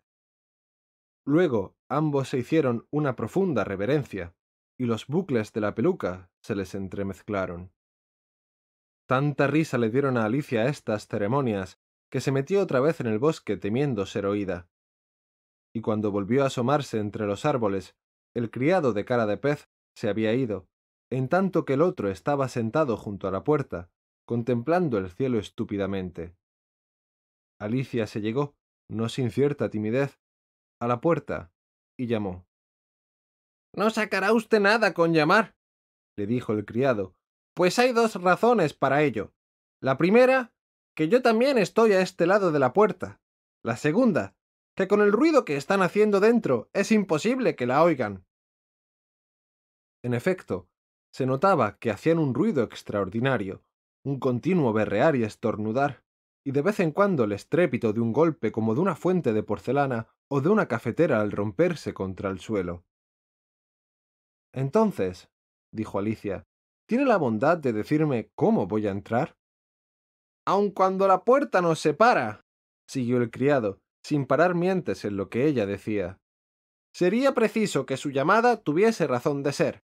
Por ejemplo, si usted se hallase dentro, podría llamar, y yo abriría para que se fuera. No dejaba de mirar al cielo mientras hablaba, cosa que Alicia encontró muy incorrecta, aunque se dijo luego ¿Acaso no lo pueda evitar? Pues tiene los ojos tan altos en la cabeza. Con todo, podría contestar a lo que se le pregunta. Y volvió a decir, alzando la voz, ¿Cómo he de hacerlo para entrar? Yo he de estar aquí, dijo el criado, hasta mañana o... En ese momento se abrió la puerta rápidamente y salió un plato planeando directamente a la cabeza del criado. Le rozó la nariz y fue a estrellarse contra el tronco de un árbol que había detrás pero el criado prosiguió en su tono imperturbable, como si nada hubiera ocurrido. Hasta mañana o pasado. ¿Cómo se entra en esta casa? volvió a preguntar Alicia, alzando bastante la voz. ¿Qué necesidad tiene usted de entrar? observó el criado. Eso es lo primero que hay que saber. Era cierto, pero a Alicia no le gustaba semejante pregunta, y murmuró para sí. La verdad es que resulta terrible la manera de arguir que tienen todas las criaturas. Es para desesperarse. Y al criado le pareció que el momento se prestaba para insistir en su observación, en forma parecida. Voy a estar aquí fuera sentado días y días. ¿Pero qué voy yo a hacer? dijo Alicia. Lo que quiera, respondióle el criado, y se puso a silbar. Oh, no conduce a nada hablar con él, se dijo Alicia, desesperada. Es un tonto acabado. Y, abriendo ella misma la puerta, penetró en la casa. La puerta daba inmediatamente a una gran cocina que estaba llena de humo. En medio se hallaba la duquesa, sentada en un escabel de tres patas, con un niñito de pecho en la falda. La cocinera, junto al hornillo, revolvía algo que debían de ser las sopas que se hacían en una olla. De seguro que esas sopas tienen demasiada pimienta, se dijo Alicia, al tiempo en que estornudaba. En efecto, hasta en el aire había demasiada pimienta. La misma duquesa no podía dejar de estornudar de vez en cuando, y el niñito estornudaba y lloraba sin punto de reposo. Los únicos seres que en aquella cocina no estornudaban eran la cocinera y un enorme gato que estaba sentado junto al fogón, con una mueca de risa que le llegaba de oreja a oreja. ¿Tendría usted la bondad de decirme? preguntó Alicia, temerosa de ser indiscreta hablando sin ser preguntada. ¿Por qué su gato se ríe de esa manera? Es que es un gato de Cheshire, le dijo la duquesa. ¡Eh, cerdo! pronunció esta última palabra con tal violencia que Alicia por poco da un salto, pero ésta se dio cuenta enseguida de que lo había dicho por el niño y no por ella. Así es que se animó y volvió a decir No sabía que los gatos de Cheshire se reían. Ni siquiera sabía que hubiera gatos que se rieran. Todos pueden hacerlo, y muchos lo hacen, en efecto. Yo no había visto ninguno, confesó Alicia muy amablemente, contenta de haber iniciado una conversación. Es que tú no tienes experiencia, le dijo la duquesa, cosa que no es de extrañar. No acabó de gustarle a Alicia el tono de esta observación, y pensó que sería oportuno cambiar de tema.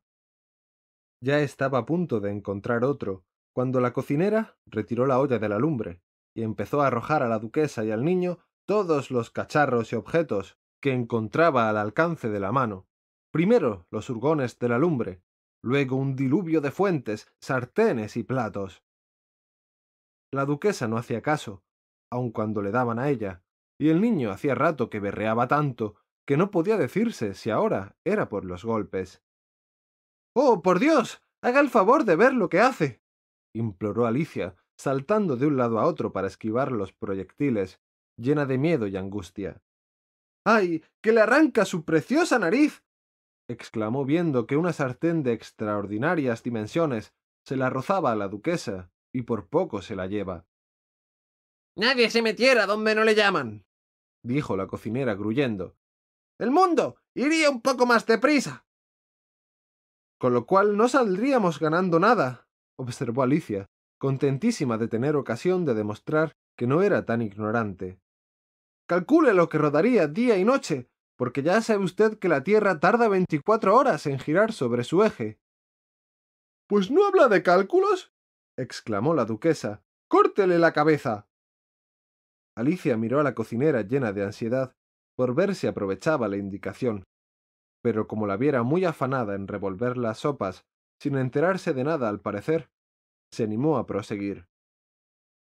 La Tierra tarda, digo, veinticuatro horas, creo, ¿Veinticuatro o doce? Yo... Tú me vas a dejar en paz, porque ya me estás fastidiando, repuso la duquesa interrumpiéndola. Nunca he servido para contar. Y con esto siguió cuidando al niñito, entonándole una especie de arrullo y dándole una brusca sacudida al final de cada línea. ¡Hay que zurrar al pequeño! Pues, ¿Cuándo empieza a berrear? En vez de coger el sueño tan solo por fastidiar. Coro, con intervención de la cocinera y el rorro. ¡Guau, guau, guau! La duquesa agitaba a un lado y otro al niño de tan violenta manera que le hacía dar aullidos, por lo cual Alicia no oyó bien las palabras de la siguiente estrofa de la canción. Al niño que estornudando se divierte y se contenta, se le dan de vez en cuando azotes con la pimienta. ¡Guau, guau, guau! Ven aquí. Ahora puedes pasear tú al niño, si quieres, dijo la duquesa, traspasando la criatura a Alicia. Yo tengo que ir a arreglarme para jugar al croquet con la reina. Y se fue precipitadamente. La cocinera le arrojó una sartén en el momento de salir, pero no la alcanzó. Alicia cogió al niño lo mejor que pudo, pues se trataba de una criatura que tenía una forma extrañísima y que sacaba por todas partes los brazos y las piernas, lo mismo que una estrella de mar, según le parecía a ella. La pobre criaturita resonaba como una máquina de vapor cuando ella la cogió, y se encogía y se estiraba de tal manera que al principio mucho fue que la pudiera sostener. En cuanto encontró la manera de acomodar al niñito en sus brazos, cosa que hizo trenzándolo en una especie de nudo, con el pie izquierdo atado a la oreja derecha, a fin de que no se desdoblara, Alicia se salió con él al aire libre, diciéndose Si no me llevo a este niño, seguro que lo matan en un par de días con esos tratos. ¿No sería un crimen dejarlo? Las últimas palabras las dijo en voz alta, y la criaturita lanzó un gruñido por toda contestación, cesando de estornudar. No gruñas, le dijo Alicia, que no es esa manera de expresarte. El rorro volvió a gruñir, y Alicia, llena de ansiedad, le miró la cara para ver lo que le ocurría. No había duda de que tenía la naricilla muy remangada, mucho más parecida a un hocico que a una nariz normal. Además, se le ponían los ojos exageradamente pequeños para ser un bebé, de manera que a Alicia le hizo muy poca gracia el aspecto que ofrecía. Eso puede ser que esté sollozando, se dijo Alicia para tranquilizarse, y le miró los ojos por si tenía lágrimas. Pero nada de lágrimas. Así es que Alicia le dijo Como te me vuelvas un lechón, queridito, voy a tener que abandonarte. Tú verás lo que haces. La criaturilla volvió a sollozar o a gruñir. Era imposible discernirlo. Y continuaron un rato en silencio. Ahora bien, ¿qué voy a hacer con esta criatura en llegando a casa? No bien había comenzado a formularse esta pregunta, la criatura dio otro gruñido, tan recio, que Alicia volvió a ella los ojos, bastante alarmada. Ahora no cabía la menor duda. Aquello no era ni más ni menos que un cerdito, y comprendió que sería absurdo seguir llevándolo en brazos. De manera que hubo de dejarlo en el suelo, y se sintió quitarse un peso de encima al verle andar solo por el bosque. Si llega a crecer así, qué criatura más horrible hubiera sido. Pero ahora me parece que resulta un cerdito muy mono. Y empezó a recordar otros niños de pecho que estarían muy bien como cerditos, y se dijo, si se les supiera transformar así. Pero se interrumpió súbitamente, porque acababa de ver cerca, en la rama de un árbol, al gato de Cheshire. El gato no hizo más que sonreír al ver a Alicia. Esta pensó, debe de tener buen humor. Con todo, era conveniente tratarlo con respeto, pues tenía agudos dientes y largas uñas. Minino de Cheshire, empezó a decirle tímidamente, pues no estaba segura de si le gustaría tal nombre. Pero el gato se sonrió un poco más, y Alicia pensó, acercándose más a él, Ánimo, pues parece que no le disgusta y le volvió a preguntar ¿Qué camino debo seguir? Según a donde quieras llegar, observó el gato. Me es absolutamente igual un sitio que otro, dijo Alicia. Entonces también da lo mismo un camino que otro, añadió el gato. Es que con tal de llegar a alguna parte, agregó Alicia a manera de explicación. Para eso le aseguró el gato. Basta con que empieces a andar y andar. Alicia comprendió que aquello no admitía réplica e intentó hacer otra pregunta. ¿Qué clase de gente vive por estos lugares? Por allí, dijo el gato, levantando la pata derecha, vive un sombrerero, y en esa otra dirección vive una liebre marceña. Puedes visitarlos a los dos. Uno y otra están locos. Pero es que yo no quiero alternar con gente loca, repuso Alicia. Ah, eso no lo puedes tú evitar, dijo el gato. Aquí todos estamos locos. Yo soy loco. Tú eres loca. ¿En qué conoce usted que yo estoy loca? le preguntó Alicia. Como no esperaba que se lo demostrara, siguió preguntándole.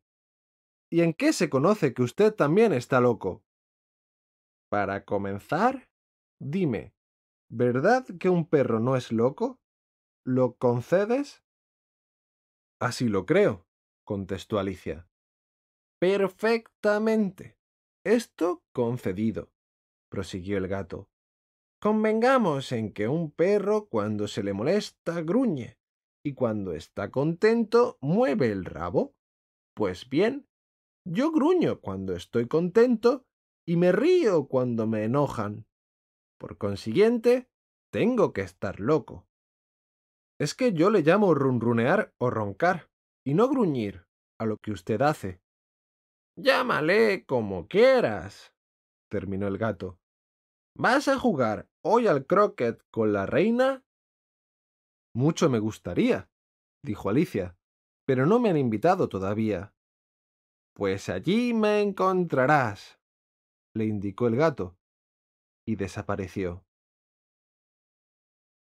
No se sorprendió mucho Alicia, porque estaba ya muy acostumbrada a las cosas extrañas que le venían sucediendo. Todavía tenía la niña puesto sus ojos en la rama donde había estado el gato, cuando éste reapareció de súbito, preguntándole Por cierto, ¿qué se ha hecho del pequeño? Se me olvidaba preguntar por él se ha convertido en un cerdo, repuso Alicia tranquilamente, como si la nueva aparición del gato fuera cosa muy natural. Me lo temí. dijo el gato, y desapareció de nuevo. Alicia se quedó un rato parada, como esperando volverle a ver. Pero no fue así, y, pasados un par de minutos, emprendió el camino en dirección de donde vivía la liebre marceña. Sombrereros, he conocido varios, se dijo. La liebre marceña será muy interesante, y es posible que, siendo ella del mes de marzo, como estamos en mayo, no se halle en el delirio de su locura. Por lo menos, no estará tan loca como en su mes especial. Así monologaba, cuando alzó los ojos y volvió a ver al gato sentado en la rama de un árbol. ¿Has dicho cerdito o cardito? le preguntó el gato chanceándose. He dicho cerdo, repuso Alicia, y no quisiera volver a verle a usted aparecer y desaparecer de esa manera tan imprevista que le hace rodar a uno la cabeza. Perfectamente, dijo el gato, y se fue esfumando poco a poco, comenzando por la cola y terminando por la sonrisa. Esta permaneció largo rato allí, cuando ya todo él se había desvanecido. ¡Qué extraño! Nunca había visto que los gatos se sonrieran, pero una sonrisa sola, sin gato, es una cosa más rara todavía. No tardó mucho en llegar a casa de la liebre marceña. Comprendió que aquella sería la casa que buscaba, porque las chimeneas tenían la forma de largas orejas, y todo el techo estaba cubierto de piel. Era una casa tan grande que no se decidió acercarse a ella sin comer antes una miajita del pedacito de seta que conservaba en la mano izquierda, con lo cual creció hasta medir sesenta centímetros. Pero, aun así y todo, se acercó con recelo, diciéndose ¿Y si resulta que está en un arrebato de locura? Casi era preferible haber ido a ver al sombrerero,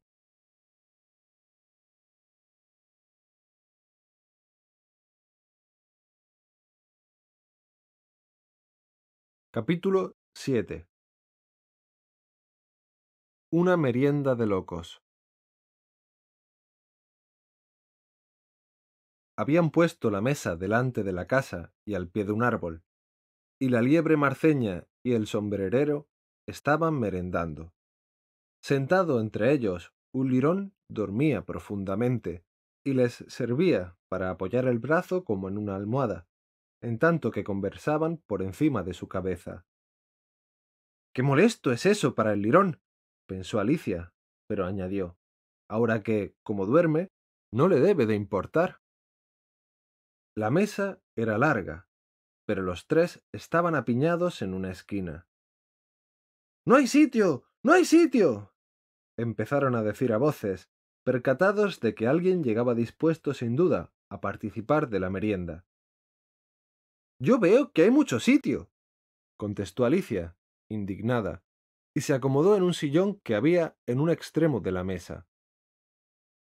Toma un poco de vino, le dijo la liebre marceña en tono alentador. Alicia paseó la mirada por la mesa de cabo a rabo, pero no vio en ella más que tazas de té, por lo cual observó. No veo en ninguna parte el vino. ¿Por qué no hay? dijo la liebre marceña. Entonces, no me parece correcto ofrecérmelo, repuso Alicia, enfadada. Tampoco es muy correcto sentarse a la mesa sin ser invitado, dijo la liebre. Yo no sabía que fuera su mesa, dijo Alicia. Está puesta para muchos más que para tres. Habría que cortarle a usted el pelo, le dijo el sombrerero. La había estado observando bastante rato con gran curiosidad, y estas fueron las primeras palabras que le dirigió. Y usted tendría que aprender a no hacer alusiones personales, dijo Alicia con bastante severidad. Es una gran falta de educación. El sombrerero la miró con los ojos muy abiertos, pero todo lo que se le ocurrió fue preguntar ¿Por qué se parecen tanto los cuervos a las mesas de escritorio? Adelante. Veo que nos vamos a divertir, pensó Alicia. Me alegro que hayan empezado a jugar a los disparates y a las adivinanzas. Y alzando la voz dijo Me parece que esa la adivino yo. ¿Es que encuentras la solución? Dijo la liebre marceña. Seguro, contestó Alicia. Entonces, ¿por qué no dices lo que te parece? Pues eso hago, replicó Alicia con presteza. Al menos creo decir lo que digo, que es lo mismo, ¿comprende? ¡Ca! Ni por asomo. dijo el sombrerero. Entonces dirías igualmente que yo veo lo que como. Es lo mismo que yo como lo que veo. Y dirías también, añadió la liebre marceña, que decir me gusta lo que tengo es igual que decir tengo lo que me gusta. Y con la misma razón afirmarías, agregó el lirón, que parecía hablar dormido, que decir yo respiro mientras duermo es idéntico a yo duermo mientras respiro. En tu caso sí lo es, observó el sombrerero. Y la conversación se cortó, de suerte que la compañía guardó silencio durante un minuto lo menos, mientras Alicia, Pensaba en todo lo que sabía acerca de los cuervos y los pupitres, que no era mucho, por cierto. El sombrerero fue el que rompió el silencio. ¿En qué día del mes estamos? preguntó volviéndose a Alicia. Había sacado el reloj del bolsillo y lo miraba con sobresalto, sacudiéndolo de vez en cuando y llevándoselo al oído. Después de pensar un momento, Alicia le contestó Día cuatro. ¡Ay! Una diferencia de dos días. dijo suspirando el sombrerero. Ya decía yo que con mantequilla no marcharía bien el reloj, agregó, lanzando una mirada de ira a la liebre marceña. Pues era mantequilla de la mejor, repuso la liebre marceña, endulzando la voz. Sí, pero habrá entrado también algo de broza, dijo entonces, gruñendo, el sombrerero. No la debías haber puesto con el cuchillo del pan. La liebre marceña cogió el reloj y lo miró sobriamente. Luego lo metió en su taza de té y lo volvió a observar.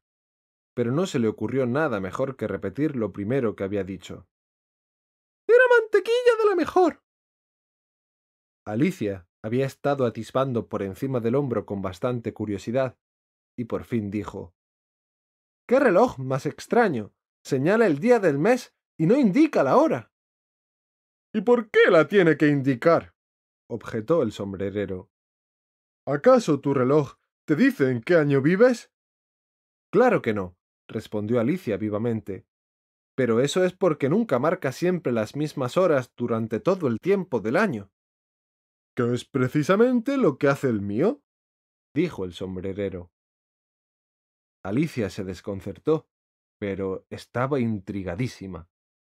Las palabras del sombrerero le hacían el efecto de no querer decir nada, y no obstante le había hablado correctamente en español. La verdad, no acabo de comprender, dijo la niña en el tono más cortés que pudo. El lirón se ha vuelto a dormir, dijo el sombrerero, salpicándole un poco de té caliente al hocico.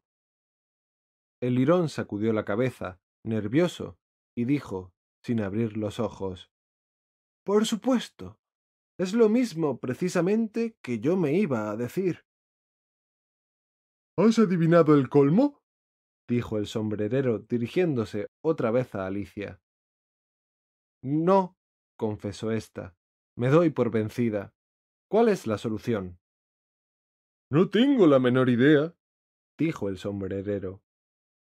Yo tampoco, murmuró la liebre marceña. Alicia suspiró con abatimiento. Creo que podrían ustedes aprovechar mejor el tiempo, les dijo, que dedicándose a preguntar adivinanzas sin solución. Si conocieras al tiempo tan bien como yo, dijo el sombrerero, no hablarías de perderlo. El tiempo es alguien. No veo lo que quiere decir, confesó Alicia. Claro que no, dijo el sombrerero, moviendo despectivamente la cabeza. Hasta diría que en tu vida has hablado con el tiempo. Puede que no, respondió Alicia por si acaso, pero sé que cuando doy la lección de solfeo tengo que marcar el tiempo. Dale que te pego. ¡Ah! Esta es la causa. dijo el sombrerero. Él no quiere que le peguen, pero con solo mantenerte en buenas relaciones con él, lograrías que hiciera del reloj lo que se te antojara. Supón, por ejemplo, que son las nueve de la mañana, la hora precisa de empezar las lecciones, pues no tendrías más que murmurarle al tiempo tu deseo, y él, en un abrir y cerrar de ojos, daría unas vueltas a las agujas, y enseguida daría la una y media.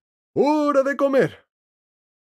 Ojalá fuera ya esa hora, murmuró para sí la liebre marceña. Sería verdaderamente magnífico, subrayó Alicia, respondiendo al sombrerero, muy pensativa. Pero es que entonces no tendría apetito todavía, ¿sabe usted? Al principio puede que no, pero es que podrías hacer que fuera la una y media todo el tiempo que te viniera en gana. ¿Es así como lo hacen ustedes? preguntó Alicia. El sombrerero movió la cabeza melancólicamente, contestando ¡Ay! Yo no. Hemos reñido con el último mes de marzo, antes que se volviera loco, ¿sabes? Y señalando a la liebre marceña con la cucharilla, agregó Fue cuando el concierto extraordinario que dio la reina de espadas, en el que yo hube de cantar. Par, Parpadea, murciélago, perdido en el azul piélago. ¿Puede que conozcas la canción? Recuerdo algo parecido, dijo Alicia. Pero es que sigue, ¿sabes? prosiguió el sombrerero. Sigue de esta manera. Tu vuelo se desmadeja en un vaivén de bandeja. Par, parpa, parpadea. A esto, el lirón se estremeció y empezó a cantar en sueños. Par, parpa, parpadea, parpadea, parpadea. Y si no le pellizcan, no se habría callado nunca. Pues bien, prosiguió el sombrerero. Apenas hube terminado la primera estrofa, la reina empezó a vociferar. Está matando al tiempo. Cortadle la cabeza. ¡Qué barbaridad! ¡Qué fiera! exclamó Alicia. Pues desde entonces, agregó el sombrerero, muy condolido, el tiempo no quiere complacerme en nada. Se ha plantado en las seis de la tarde y de ahí no sale. Alicia tuvo un momento de claridad. ¿Y esa es la causa de que haya aquí tanto servicio de té? Exactamente, dijo el sombrerero suspirando. Siempre son las seis y no hay tiempo de lavar la vajilla entre merienda y merienda. Entonces deben ustedes irse corriendo de silla en silla por la mesa, observó Alicia. Ni más ni menos, dijo el sombrerero.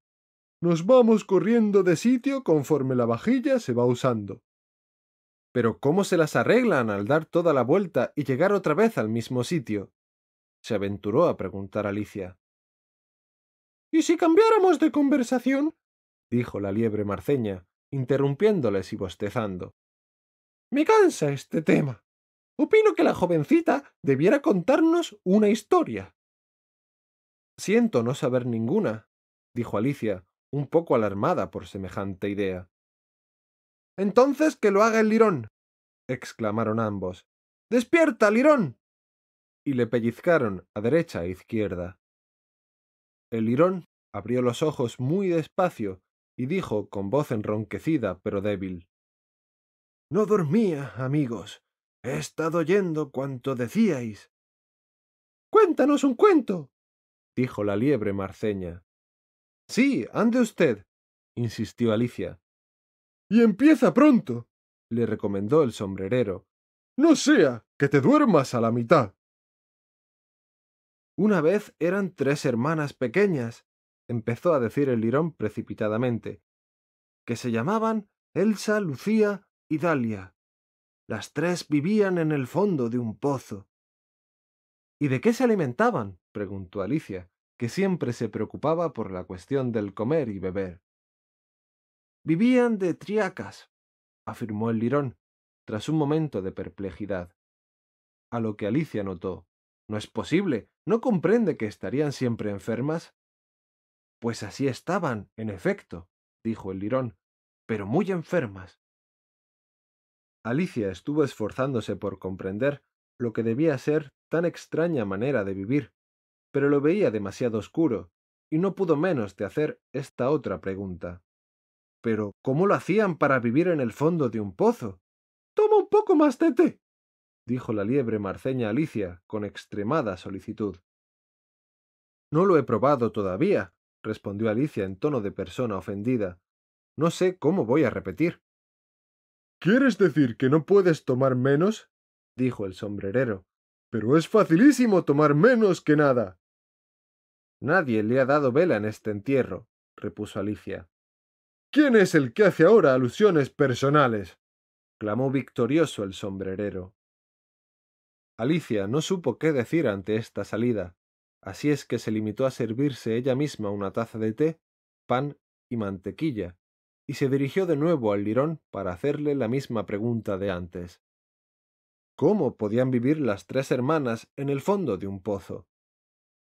Otra vez el lirón estuvo un rato perplejo, y por fin dijo Es que era un pozo de triaca. No hay pozos así, contestó Alicia, que empezaba a estar muy enojada. Pero el sombrerero y la liebre marceña le hicieron ¡Chitón! ¡Chitón! El lirón gruñó. Si no sabes portarte como Dios manda, acábate tú el cuento. No, no, continúe. Haga el favor, dijo Alicia con gran sumisión. No volveré a interrumpirle. Puede que al menos haya uno de esos pozos. Naturalmente, hay uno, exclamó el lirón, muy indignado.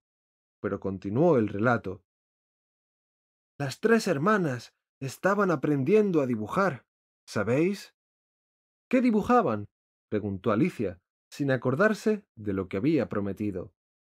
Triacas, respondió el lirón, sin pensar esta vez en absoluto lo que decía. Quiero una taza limpia, dijo, interrumpiendo, el sombrerero. Corrámonos todos un sitio. Así diciendo, se pasó al sitio de al lado, y el lirón le siguió. La liebre marceña se sentó en el lugar que había ocupado el lirón, y Alicia, un poco a la fuerza, se sentó en el sitio de la liebre marceña. El sombrerero fue el único que salió ganando con el cambio. Y Alicia se encontraba bastante más molesta que antes, pues la liebre marceña había vertido la leche de la jarra en el platito de la taza que ahora le tocaba a la niña. No quería Alicia disgustar otra vez al lirón, así es que puso tiento en escoger las palabras al decirle Perdone, no lo acabo de entender. ¿De dónde sacaban la triaca? ¿No se saca agua de un pozo de agua? contestó el lirón. Pues no seas estúpida, que lo mismo se saca triaca de un pozo de triaca. Pero Alicia, sin darse por enterada de lo que la había llamado, volvió a interrogar. ¿Sí? ¿Pero es que ellas estaban metidas en el pozo? Claro que sí. Metidas en el pozo estaban bien, dijo el lirón como quien aclara un asunto. La contestación desconcertó a Alicia de tal manera que dejó que el lirón siguiera hablando solo. Digo que estaban empezando a aprender a dibujar. Y, al decirlo, el lirón bostezó y se restregó los ojos, pues sentía mucho sueño.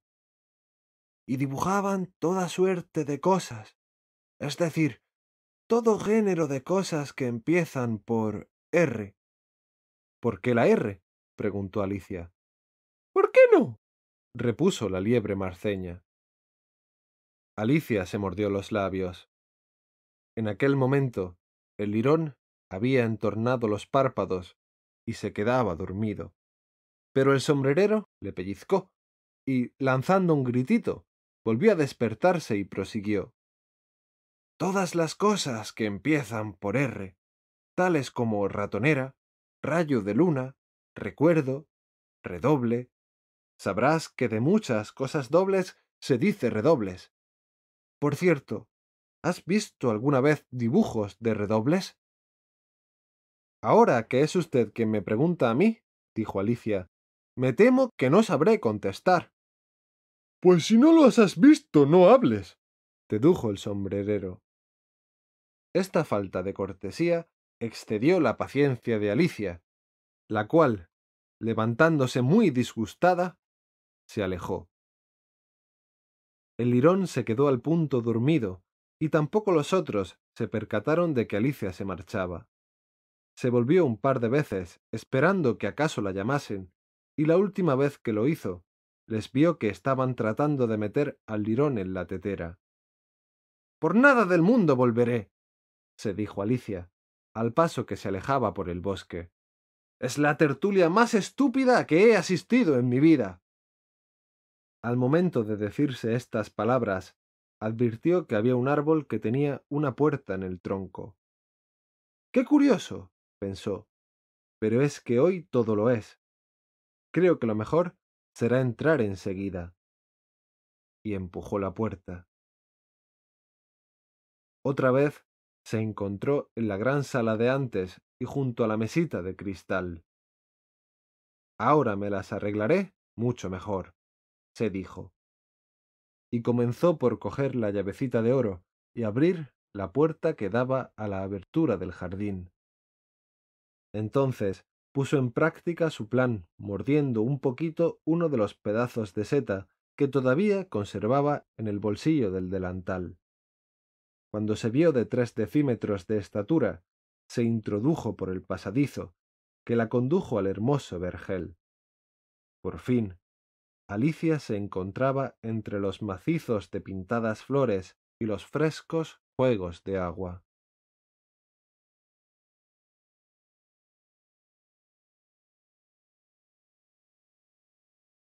Capítulo 8 El campo de croquet de la reina. Veíase a la entrada del jardín un espléndido rosal. Sus rosas eran muy blancas, pero tres jardineros estaban ocupados en pintarlas de encarnado. Alicia lo encontró muy curioso. Se acercó para verlos bien, y al hacerlo oyó uno que decía Ten cuidado, cinco. No me salpiques así de pintura. Ha sido sin querer. El siete me ha dado en el codo. Con lo cual el siete levantó los ojos y dijo Está bien, cinco. Échale siempre las culpas al vecino. Más te valdría no hablar, dijo el cinco. Ayer mismo se oyó decir a la reina que debían cortarte la cabeza. ¿Por qué? preguntó el dos, que era el que había hablado primero. ¿A ti qué te importa? dijo el siete. Pues no ha de importarle, dijo el cinco. Y yo se lo digo, fue porque le llevó a la cocinera bulbos de tulipán en vez de cebollas. El siete arrojó el pincel al suelo y empezó a decir Ah, sí, pues de todas las injusticias.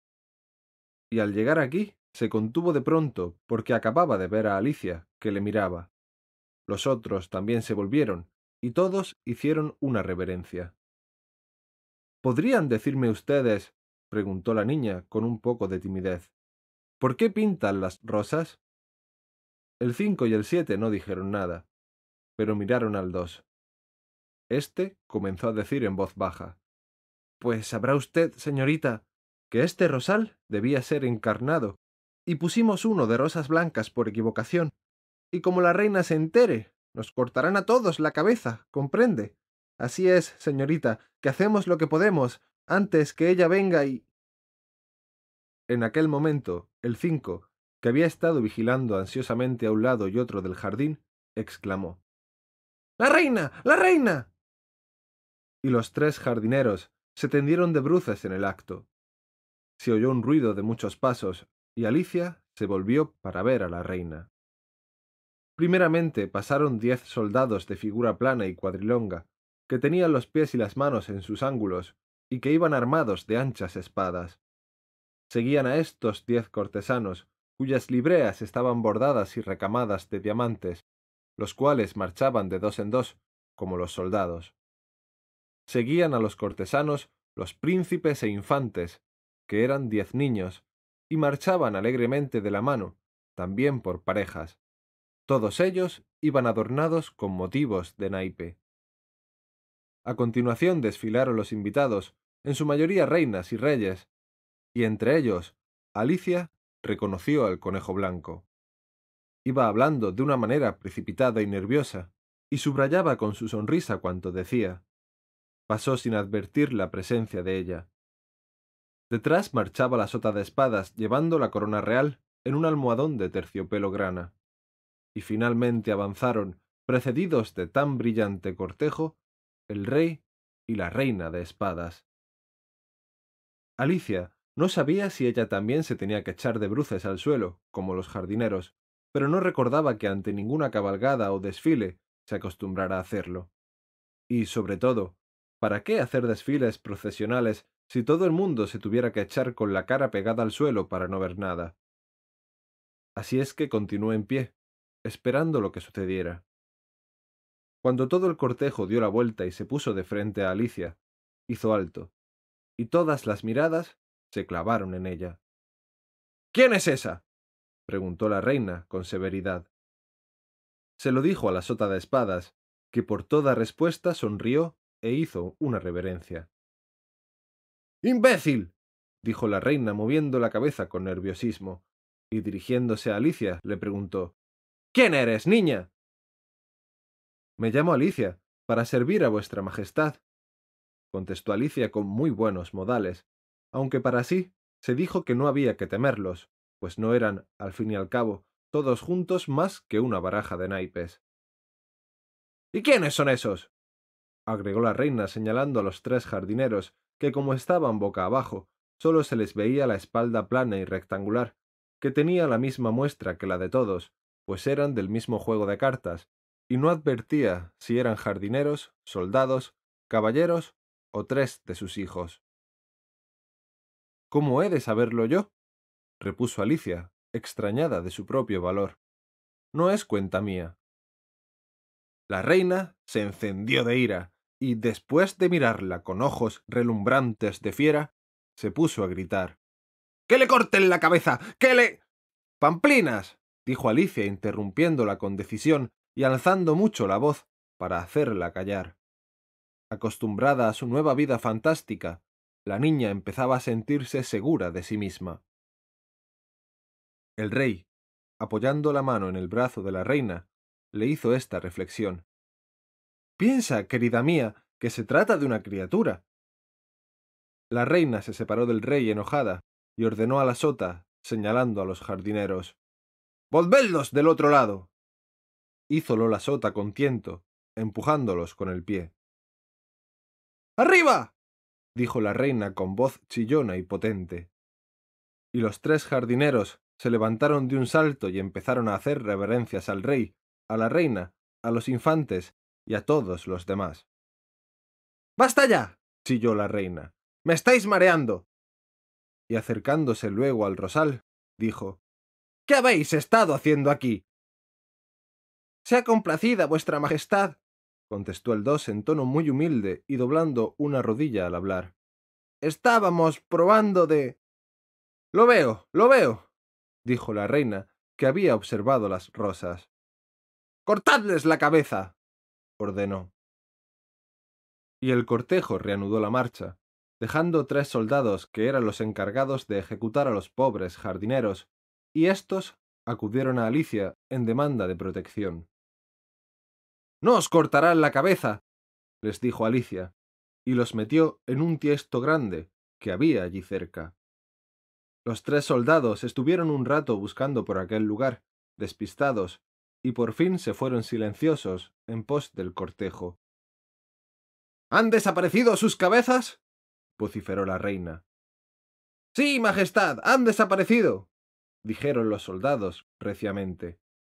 Muy bien, gritó la reina y enseguida dijo ¿Sabes jugar al croquet? Los soldados siguieron callados y miraron a Alicia, pues la pregunta parecía ir dirigida a ella. Sí, dijo Alicia, gritando también. Pues andando. rugió la reina. Y Alicia se unió al cortejo, haciéndose mil preguntas sobre lo que iría a suceder. Hace. hace un día espléndido, murmuró tímidamente una voz a su lado. Era el conejo blanco, que iba junto a ella, y le miraba la cara con ansiedad. Mucho, dijo Alicia. ¿Dónde está la duquesa? Tate, tate, dijo el conejo apresuradamente en voz baja. Volvió la cabeza para mirar con disimulo por encima del hombro, se puso de puntillas, se acercó a su oído y le dijo Está condenada a muerte. ¿Por qué esa pena? preguntó Alicia. ¿Dices que es una pena? repuso el conejo. No, no digo eso. No creo que sea una lástima. Preguntaba la causa de la sentencia. Es que la duquesa ha bofeteado a la reina. Alicia dio un grito reprimiendo la risa. ¡Chitón! murmuró el conejo, lleno de miedo. La reina te va a oír, pues sabrás que la duquesa ha llegado tarde y la reina le ha dicho. No pudo continuar, porque la reina dijo en aquel instante con voz de trueno Cada cual a su sitio. Y toda aquella gente empezó a correr en todos sentidos, tropezando unos con otros. Sin embargo, pronto estuvieron a punto y comenzó la partida. Alicia pensó que no había visto en su vida un campo de croquet tan curioso como aquel. Estaba cruzado de lomas y surcos, las bolas de jugar eran erizos vivos, los malets, o largas mazas para dar a las bolas, eran sustituidos por flamencos de largas patas y largo cuello, y los soldados se tenían que encorvar apoyándose sobre las manos para formar los arcos por donde pasasen las bolas. La primera dificultad con que tropezó Alicia fue el manejar su flamenco. Por fin consiguió cogerle el cuerpo bajo el brazo, con las patas colgando, pero casi todas las veces en el momento en que, estirando el cuello del ave, Alicia se disponía a usarlo como maza para dar el golpe al erizo, el flamenco doblaba el cuello levantando la cabeza y mirándola fijamente, con ojos tan asombrados que ella no podía dejar de echarse a reír. y cuando otra vez se disponía a dar el golpe, era muy irritante ver que el erizo se desenrollaba y empezaba a andar. Además, ocurría que siempre se interponía un surco o un desnivel del terreno en el sitio por donde ella quería lanzar el erizo. Y los soldados que hacían de arco se levantaban a cada momento y se trasladaban de lugar. Alicia pronto se convenció de que era muy difícil aquella partida. Todos los jugadores intervenían a la vez, sin esperar turno, riñendo continuamente y disputándose los erizos. Y muy pronto, la reina tuvo un ataque de rabia y empezó a andar de un lado para otro, dando voces así. ¡Que le corten a esa la cabeza! ¡Que le corten a esa la cabeza! Alicia empezó a sentirse incómoda. En verdad que hasta entonces no había tenido la menor disputa con la reina, pero comprendía que podía suceder de un momento a otro. Y pensaba ¿Y entonces qué será de mí? Tienen aquí tanta afición a decapitar a la gente. Lo extraño es que quede todavía alguno en pie. Así pensando, miraba en derredor buscando una escapatoria, no sabiendo si le iba a ser posible evadirse sin ser vista, cuando vio una rara aparición en el aire. Al principio la desconcertó mucho, pero al cabo de un rato de mirarla atentamente, vio que tenía una gran sonrisa, y enseguida se dijo Ese, ese es el gato de Cheshire. Ahora tendré alguien con quien hablar. ¿Cómo estás? le dijo el gato en cuanto tuvo la boca bastante reaparecida para poder hablar. Alicia esperó hasta que se le aparecieron también los ojos. No conducirá a nada hablarle, pensó, hasta que no le aparezcan las orejas, por lo menos hasta que tenga una. Al cabo de un rato, la cabeza del gato era una aparición completa, y entonces Alicia dejó al flamenco y empezó a hacer un relato de la partida, muy contenta de tener a alguien que la escuchara. El gato debía de creer que con su cabeza bastaba, pues el cuerpo no se le apareció. Me parece que no juegan de buena fe, empezó a decir Alicia en tono condolido. Y riñen de una manera tan tremenda que no se entiende nadie. Además, Parece que no tienen reglamento alguno. Al menos, si lo hay, nadie lo observa. ¿Y no tiene usted idea de cómo confunde el que todas las cosas sean vivas? Por ejemplo, allá estaba el arco por donde tenía que hacer una jugada hasta el otro lado del campo, y hubiera dado al erizo de la reina, a no ser que echó a andar cuando vio que el mío se acercaba. ¿Cómo encuentras a la reina? dijo el gato bajando la voz. No me gusta nada, repuso Alicia. Tiene tan extremada. En aquel preciso momento advirtió que la reina estaba escuchando a su lado, por lo cual se le ocurrió terminar de esta manera. Tan extremada tendencia a ganar, que casi no vale la pena esperar el resultado de la partida. La reina sonrió y siguió adelante. ¿Con quién hablas? dijo el rey, acercándose a Alicia y mirando la cabeza del gato, lleno de curiosidad. Es un amigo mío, un gato de Cheshire, dijo Alicia. Permítame, vuestra merced, que se lo presente. No me gusta del todo su mirada, observó el rey. Sin embargo, puede besarme la mano si quiere. Prefiero no besársela, confesó el gato. No seas impertinente, dijo el rey. Y no me mires de esa manera. Y, así diciendo, púsose, asustado, detrás de Alicia. Los gatos pueden mirar a los reyes, dijo Alicia. Así lo he leído en alguna parte que ahora no recuerdo. Pues es preciso sacarlo de aquí, dijo el rey imperativamente. Y llamó a la reina, que acertaba a pasar otra vez por allí. Oye, querida mía, Quisiera que hiciera sacar de aquí ese gato. La reina solo tenía una manera de resolver las dificultades, fuesen grandes o pequeñas. ¡Que le corten la cabeza! contestó, sin molestarse siquiera en volver los ojos. Yo mismo iré por el verdugo, dijo el rey, con impaciencia, y echó a correr. Alicia pensó que también ella debía ir de nuevo a ver cómo seguía la partida, y volvió a oír la voz chillona de la reina, indignada.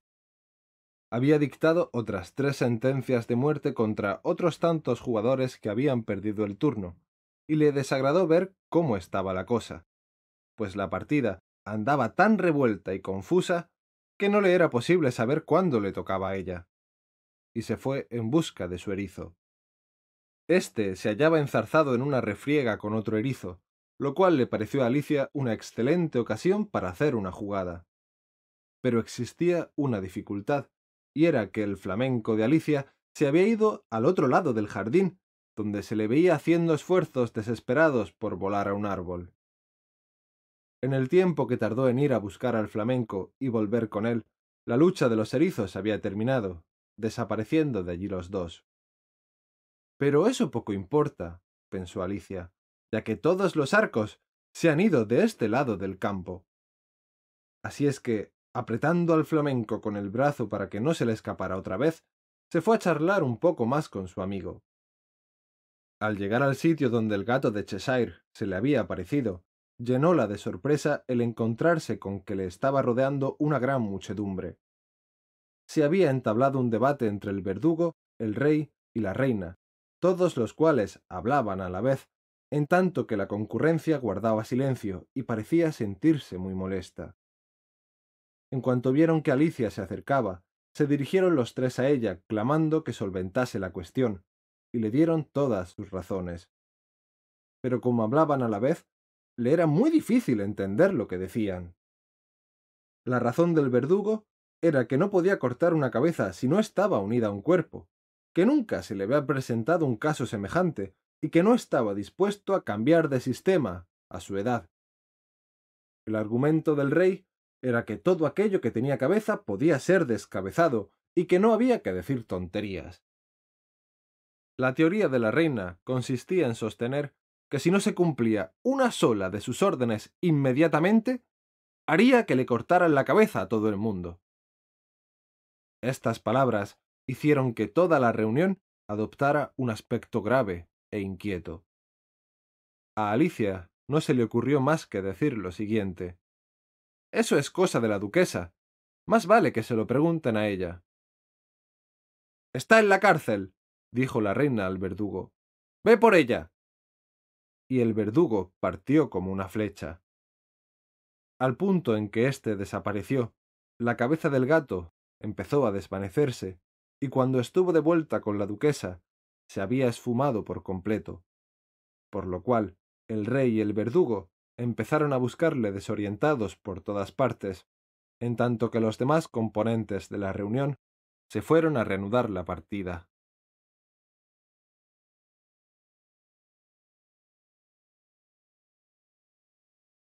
Capítulo 9 La historia de la falsa tortuga. No sabes lo contenta que estoy de volverte a ver, amiguita mía, dijo la duquesa, estrechando su brazo afectuosamente, cuando las dos se fueron juntas de paseo. Alicia se alegraba de encontrarla de tan buen humor, y pensó que sería la pimienta la causa de su fuerza cuando la encontró en la cocina. Cuando sea duquesa, se decía Alicia, no muy convencida de su propia esperanza, no permitiré que haya pimienta en mi cocina. La sopa es muy buena sin pimienta.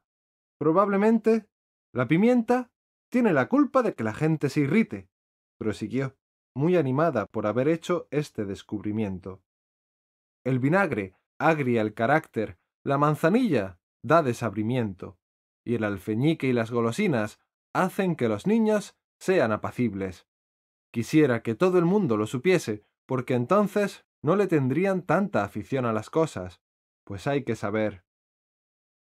Se había olvidado completamente de la duquesa, por lo que se asustó un poco al oírle decir a su lado Hay algo que te preocupa, querida, y te olvidas de hablar. No podría decirte en este momento la enseñanza que debe desprenderse de ello, pero no he de tardar en encontrarla. Puede que esto no tenga moraleja, se aventuró a observar Alicia.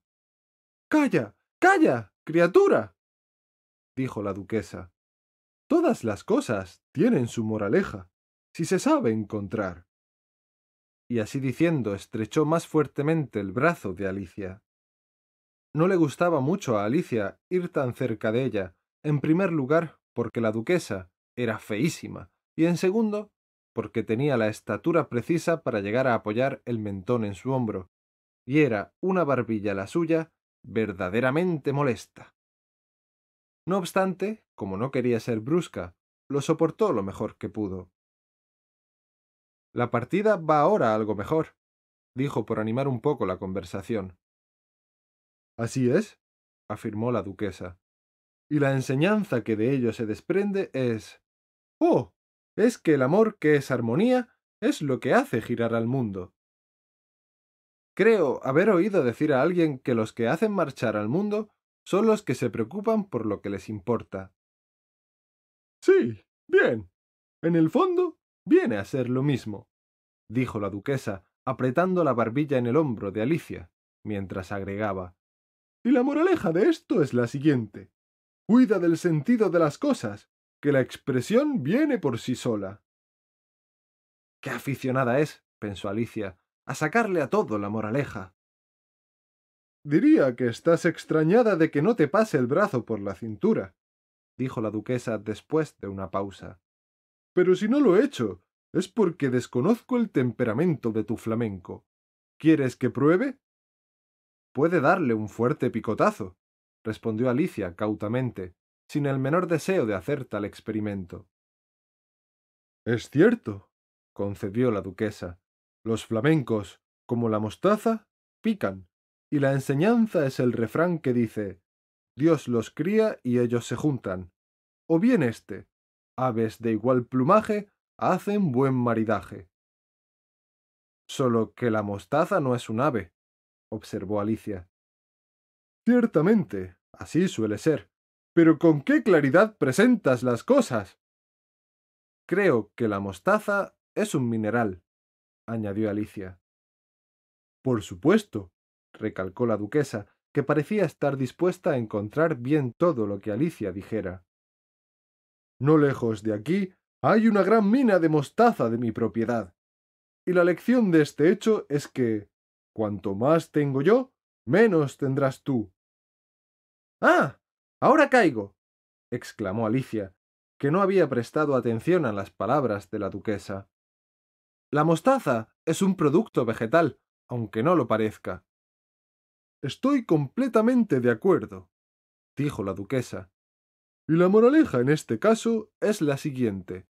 Sé lo que quieres parecer, o, para decirlo con mayor claridad, nunca creas que eres distinta de como aparezcas a los ojos del prójimo, que lo que fueras o hubieras sido no será, ni más ni menos, que lo que fuiste, aunque a ellos les pareciese lo contrario. Creo, observó con mucha cortesía Alicia, que lo comprendería mejor si lo hubiera escrito, porque de la manera que usted me lo dice, me pierdo un poco.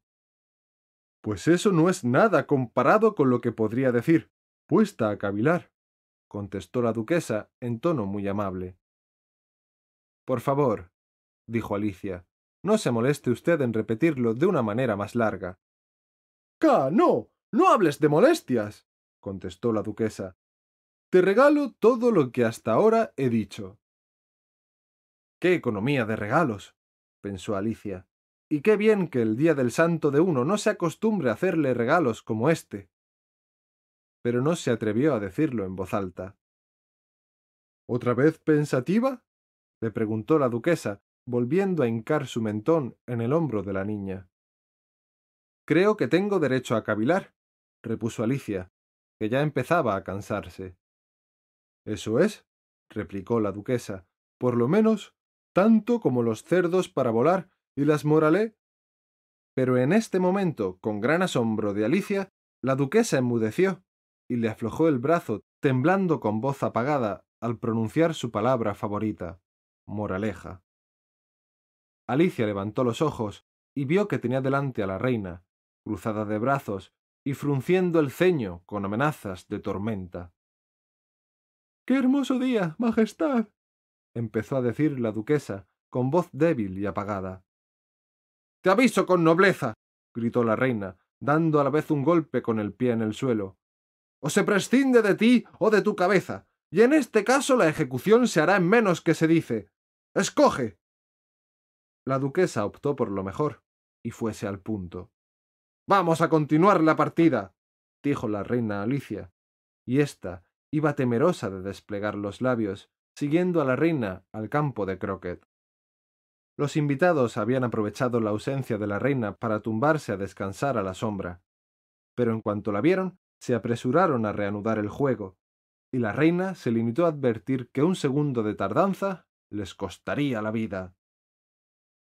Mientras duraba el juego, la reina no cesaba de reñir, de disputar con unos jugadores o con otros, y de gritar ¡Que le corten la cabeza a éste! ¡Que le corten la cabeza a aquella! A todos los que iban siendo sentenciados los vigilaban los soldados, para lo cual tenían que dejar de prestar su servicio como arcos del juego. Así es que al cabo de media hora aproximadamente no quedaba un solo arco para el croquet, y todos los jugadores estaban custodiados como reos de muerte, a excepción del rey, la reina y Alicia. Entonces la reina, sin aliento, dejó el campo y preguntó a Alicia ¿Has visto la falsa tortuga? No, contestó Alicia, ni tengo idea de cómo sea una falsa tortuga. Pues es la cosa con que se hace la sopa de imitación de tortuga de mar, aclaró la reina. Nunca lo he visto ni he oído hablar de ello. Andando, pues, dijo la reina, y ella misma te contará su historia. Cuando todos se retiraron, el rey dijo varias veces Todos estáis perdonados. Mira qué bien, se dijo Alicia, que estaba sumamente apesadumbrada por las numerosas sentencias de muerte que la reina dictara. Pronto llegaron a un lugar donde había un grifo que dormía profundamente al sol. Si no sabéis lo que es un grifo, vedlo en el grabado. Arriba, perezoso. dijo la reina. Levántate y acompaña a esta jovencita a visitar a la falsa tortuga, para ver si se cumplen varias sentencias de muerte que he dictado. Y se alejó, dejando a Alicia sola con el grifo. No le hacía mucha gracia a Alicia la facha de aquella criatura, pero, en resumidas cuentas, tan segura estaría en su compañía como en la de la furiosa reina. Esta consideración la decidió a esperar. El grifo se levantó y se restregó los ojos. Luego se quedó mirando a la reina hasta que se hubo perdido de vista. Por fin dijo guturalmente estas palabras, sin acabar de dirigirse a Alicia. ¡Qué broma más chocante! ¿Cuál es la broma? preguntó Alicia. Que la reina es muy chocante, dijo el grifo. Todo es fantasía suya, pues nunca ejecutan a nadie, ¿sabes? Adelante. Vamos. En esta tierra, pensó Alicia mientras le seguía lentamente, todos dicen Adelante. Nunca, nunca en mi vida me había mandado así todo el mundo. No habían andado mucho cuando vieron a lo lejos a la falsa tortuga, sentada triste y solitaria en un estrecho margen de roca, y cuando se acercaron un poco más a ella, Alicia la oyó suspirar como si se le partiera el corazón. La compadeció profundamente. ¿Por qué tiene esa pena? le preguntó al grifo, y éste le contestó, murmurándole otra vez al oído. Todo es fantasía suya. En realidad, no le pasa nada, ¿sabes? Adelante. En esto llegaron a donde estaba la falsa tortuga, que les miró con los ojos abiertos y llenos de lágrimas, pero sin decirles nada. Aquí está esta señorita, dijo el grifo, que viene para que le cuentes tu historia.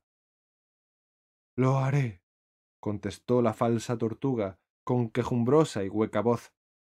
Sentaos y no me interrumpáis hasta el final. Con lo cual se sentaron, y nadie pronunció una palabra durante un buen rato. Alicia pensaba, mal podrá acabar si no comienza, pero siguió aguardando con paciencia. En otro tiempo, dijo por fin la falsa tortuga, yo era una tortuga de verdad. Estas palabras fueron seguidas de otro largo silencio, solo interrumpido por el grito del grifo, que era un chirrido así. Y por el constante y cansado sollozar de la falsa tortuga. Alicia estaba ya a punto de levantarse y decir Muchas gracias, señora, por su interesante relato. Pero no podía dejar de pensar que algo más debía de hacer, y ello le hizo continuar esperando silenciosa. Cuando éramos pequeños, dijo la falsa tortuga, por fin un poco más tranquila, pero dando todavía sollozos de vez en cuando. Íbamos a la escuela del mar.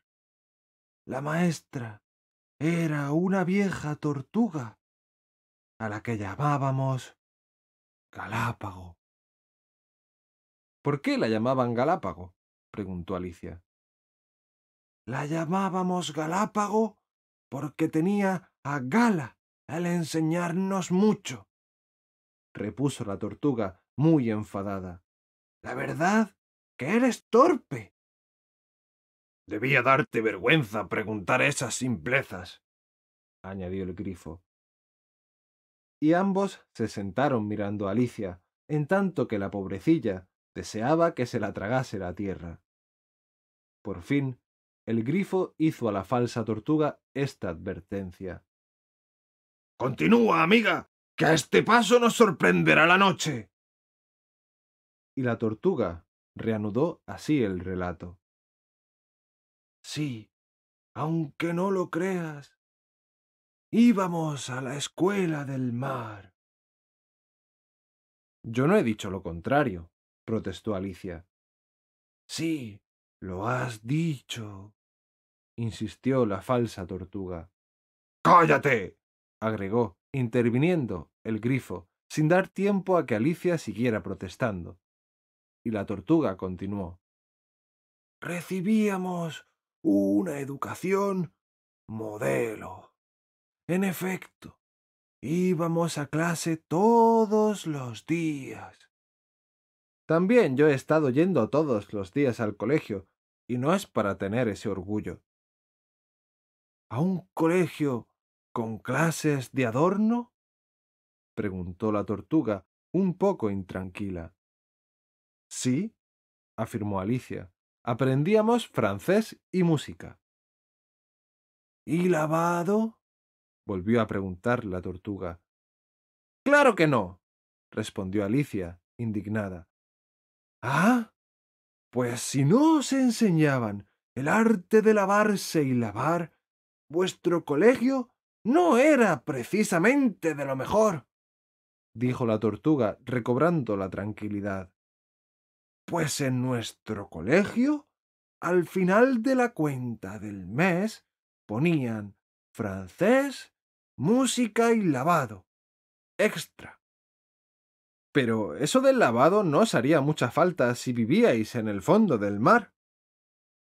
Yo no podía gastar tanto, dijo la tortuga suspirando. Yo solo daba las clases ordinarias. ¿Cuáles eran? preguntó Alicia. Eran cursos de girar y contorcerse. Para empezar, por supuesto, contestó la falsa tortuga. Luego, las diferentes ramas de la aritmética. Ambición, distracción, afeamiento e irrisión.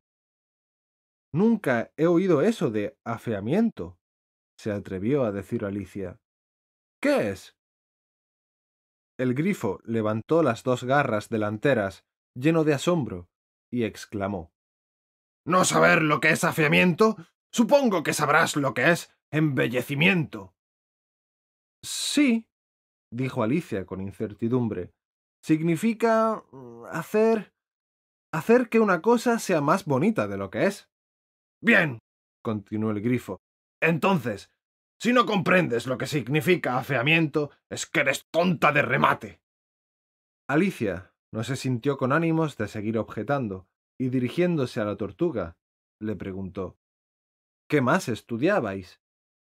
Pues también dábamos la asignatura de misterio, respondió la falsa tortuga, sacudiéndose las aletas como si de ellas se sacara la memoria. Misterio antiguo y moderno, con mariografía. Luego, mascullamiento prosódico. El profesor de esta asignatura era un viejo congrio que acostumbraba ir una vez a la semana. Solía darnos lección de mascullamiento o deletreamiento, alargamiento y extenuamiento en los remolinos. ¿Y cómo es eso? preguntó Alicia, sin poder ocultar una evidente sorpresa. Verás, yo misma no te lo puedo enseñar, contestó la falsa tortuga. Me he vuelto demasiado rígida. Por su parte, el grifo nunca lo ha aprendido. No tuve tiempo, dijo el grifo. Sin embargo, asistí a las clases del maestro clásico. Era un cangrejo que ya tenía algunos años. Yo no tuve ocasión de aprender con él, dijo la falsa tortuga, exhalando un suspiro. Enseñaba la risa y la amargura, según decían. En efecto, esa era su especialidad, afirmó el grifo, empezando también a suspirar. Y los dos se cubrieron el rostro con las patas. ¿Y cuántas horas de clase teníais? se apresuró a preguntar Alicia, deseosa de cambiar de asunto. Diez horas el primer día, dijo la falsa tortuga nueve el segundo, y así sucesivamente, una hora menos cada día. ¡Qué plan más curioso! exclamó Alicia, profundamente admirada.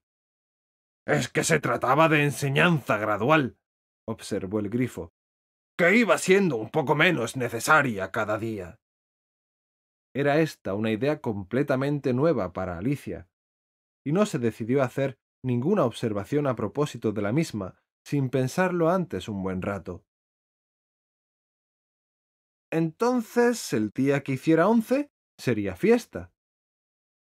Naturalmente, dijo la falsa tortuga. ¿Y cómo se las arreglaban el día doce? Basta de lecciones, dijo el grifo, interrumpiéndoles en tono imperioso. Ahora Cuéntame algo acerca de los juegos.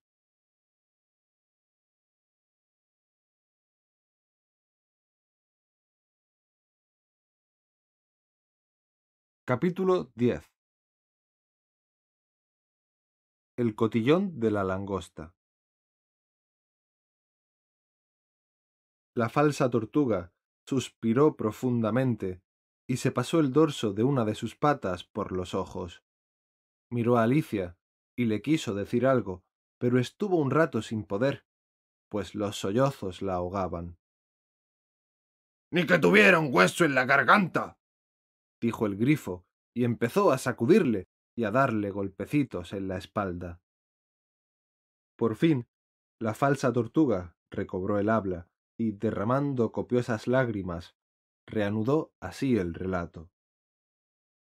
Seguramente Habrás vivido poco en el fondo del mar. No, nunca, contestó Alicia. Entonces no te habrán presentado a ninguna langosta. Alicia comenzó a decir.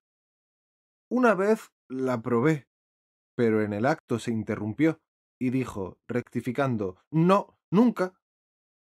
Entonces no tienes ni idea de qué cosa más divertida es el baile de la cuadrilla de la langosta. Es verdad, no lo sé, dijo Alicia. ¿Cómo es ese baile? Verás, dijo el grifo. Primeramente se forma una línea a lo largo de la playa. Dos filas, interrumpió la falsa tortuga. se alinean las focas, las tortugas, el salmón y así los demás animales. Luego quitan de en medio todas las medusas. Lo cual lleva bastante tiempo, interrumpió el grifo. Entonces se dan dos pasos. Cada cual con una langosta, dijo el grifo, interrumpiendo otra vez. Claro está, contestó la falsa tortuga. Se avanzan dos pasos por parejas. Se cambia de langosta y todos vuelven a su sitio en el mismo orden, continuó el grifo. Entonces, ¿sabes? prosiguió la falsa tortuga. Entonces se lanzan las langostas, exclamó el grifo dando un salto. Se arrojan al aire lo más alto posible. Y a nadar detrás de ellas, gritó el grifo. Luego se da un salto mortal, exclamó la falsa tortuga, moviéndose indecisa de un lado a otro.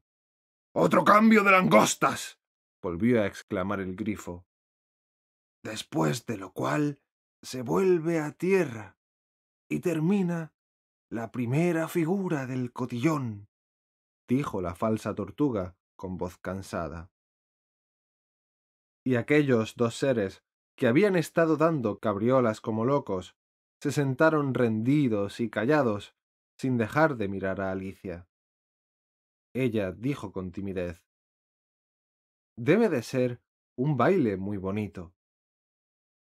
¿Te gustaría verlo un rato? le preguntó la falsa tortuga. Muchísimo, contestó Alicia. Vamos, pues, a probar de hacer la primera figura, le dijo la falsa tortuga al grifo. Lo haremos sin langostas, ¿sabes? ¿Quién cantará? Eso tú, dijo el grifo, que yo no me acuerdo de la letra. Así pues, pusiéronse a bailar solemnemente en torno a Alicia, pisándola de vez en cuando al pasar demasiado cerca y llevando el compás con las patas de delante, en tanto que la falsa tortuga cantaba de esta suerte, muy despacio y con tristeza. Ven ligero, caracol, dijo la merluza, piensa que el delfín toca mi cola persiguiéndome de cerca. Las langostas y tortugas, tras una ansiosa carrera, para comenzar la danza, en dos filas nos esperan. ¿Quieres danzar? ¿Quieres o no entrar en la danza nuestra? ¿Quieres danzar? ¿Quieres o no entrar en la danza nuestra? ¿Es esta una diversión? Como no tienes idea. Salta como las langostas por el agua, dentro y fuera. Mas el caracol responde que lejos, lleno de pena. Gracias, señora merluza, mas la danza no me Puedo danzar, no puedo no entrar en la danza vuestra. Puedo danzar, no puedo, no entrar en la danza vuestra. Mas, ¿qué importa la distancia? Dijo la merluza en réplica. Bien sabes que a la otra orilla se extiende otra playa inmensa. África está al otro lado, lo más lejos y más cerca. No te asustes, caracol, y ven conmigo a la fiesta. ¿Quieres danzar? ¿Quieres o no entrar en la danza nuestra? ¿Quieres danzar? ¿Quieres o no entrar en la danza nuestra? Muchas gracias. Da gusto ver este baile, dijo Alicia, dando gracias a Dios de que por fin hubiese terminado. Y qué linda esa canción de la merluza. Ah, por lo que se hace a las pequeñas, a las jóvenes merluzas, repuso la falsa tortuga. Supongo que sabrás cómo son, ¿no? Sí, dijo Alicia. Las he visto muchas veces a la hora de com. se interrumpió sin terminar la palabra comer. No sé lo que quiere decir eso de com, confesó la falsa tortuga.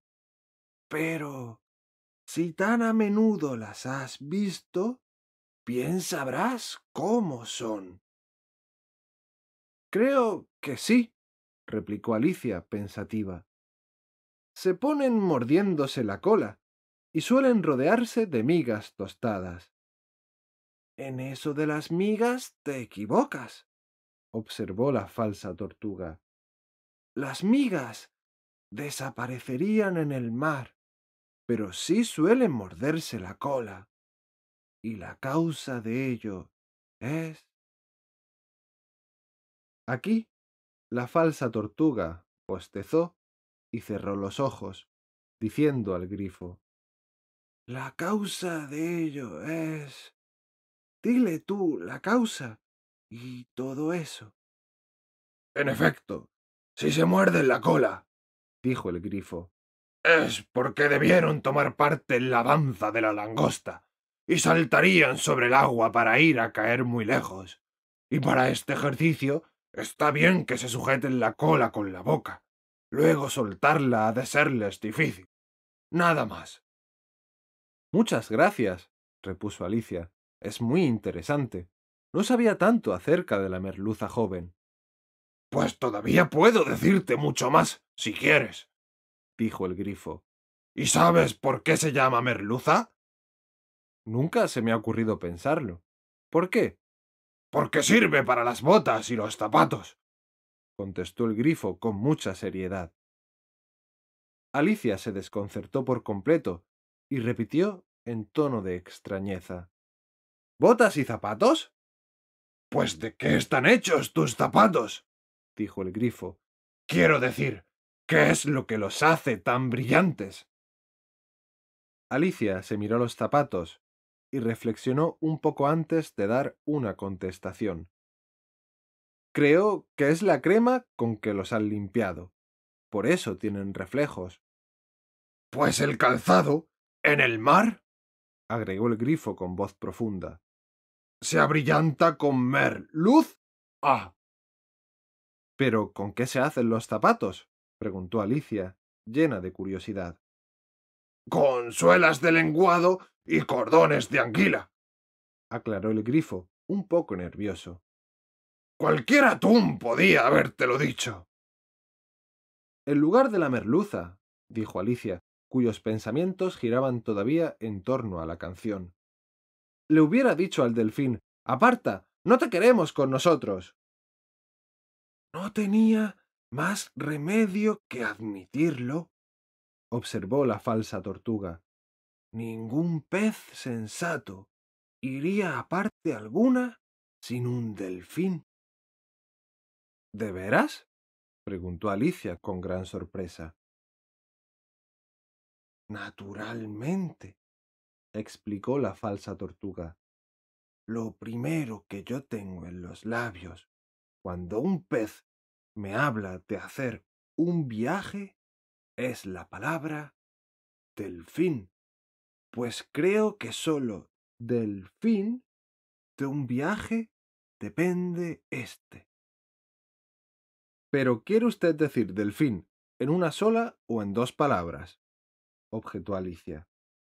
Quiero decir lo que digo, replicó la falsa tortuga, sintiéndose ofendida.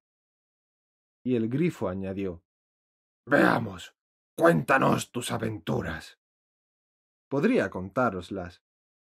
A partir de esta mañana, contestó Alicia con cierta timidez, pues no conduciría nada a hablar de ayer, porque ayer yo era otra persona. Aclara eso, dijo la falsa tortuga. No, no. Primero las aventuras, clamó el grifo con impaciencia. Que las explicaciones llevan siempre demasiado tiempo. Con lo cual, Alicia empezó a contarle sus aventuras desde que conoció al conejo blanco. Al principio se intimidó un poco, porque aquellos dos seres se le acercaron de tal manera, uno a cada lado, los ojos muy abiertos, que le costó algún esfuerzo el sentirse confiada y animosa. Ambos oyentes estuvieron muy callados hasta que llegó aquello de Eres viejo, padre Guillermo, que le había recitado al gusano de seda. Todo el recitado le salió distinto, por lo cual la falsa tortuga, respirando profundamente, dijo ¡Qué curioso! A más no poder, convino el grifo. Del todo distinto al original, replicó la falsa tortuga, muy preocupada. Y dirigiéndose al grifo, como concediéndole mayor autoridad sobre Alicia, le rogó de esta suerte. Me gustaría que probara a repetir algún trozo. Dile que vuelva a comenzar. Y el grifo ordenó. Levántate y repite aquello de Cantando la cigarra pasó. ¿Cómo es que todas las criaturas me mandan y hasta me hacen repetir las lecciones? pensó Alicia. Tanto valdría encontrarme ahora mismo en el colegio. No obstante, se puso en pie y empezó a repetir la fábula, pero le bullían en la cabeza de tal manera las cosas del baile de la langosta, que a duras penas se daba cuenta de lo que decía, y le salió el siguiente recitado, extraño en verdad. La langosta exclamó Demasiado cocida. Me tendré que endulzar con azúcar el pelo. Como el pato se enrosca con el pico en el pecho, bajaré la nariz de mis pies a mis dedos. Es distinto de lo que yo acostumbraba a recitar de chico, expuso el grifo. La verdad es que yo nunca lo había oído así, dijo la falsa tortuga. Pero suena a cosa falta, en absoluto, de sentido. Alicia no contestó. Se sentó de nuevo apoyando la cara entre las manos, sin saber si ocurriría ya nunca nada dentro de lo normal. Pero la falsa tortuga le dijo Me gustaría que me lo explicases. No puedo explicarlo, intervino el grifo al instante. Sigue por la segunda estrofa. Pero, ¿cómo habla de los dedos de los pies? dijo la falsa tortuga con tozudez. ¿Cómo podía tocarlos con toda la nariz? Es la primera postura de la danza, dijo Alicia, que, no obstante, se sentía completamente trastornada con todo aquello y estaba deseando cambiar cuanto antes de tema. Anda, empieza la segunda estrofa, repitió el grifo con impaciencia. ¿No es así?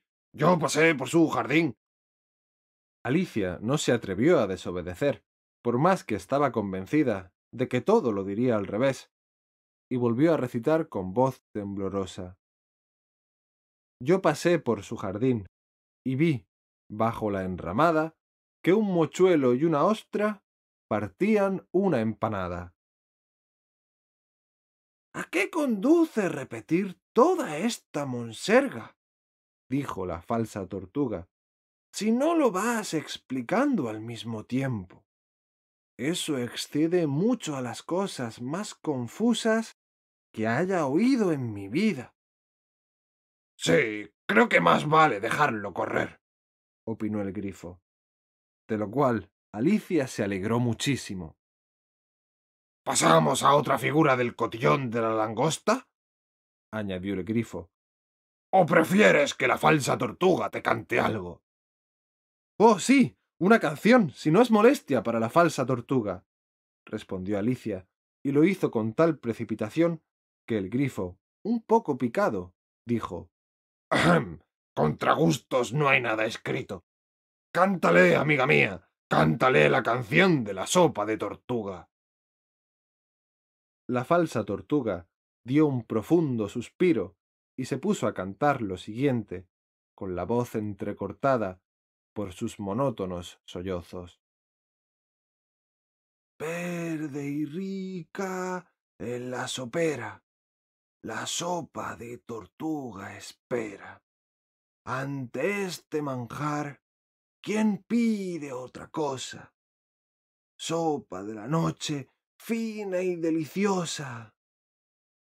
Sopa de la noche, riquísima sopa, riquísima sopa, riquísima sopa, sopa de la noche, rica, riquísima sopa, rica sopa, no hay bocado de ave, fruta ni pescado que valga siquiera lo que un solo real de esta sopa verde, rica y sin igual.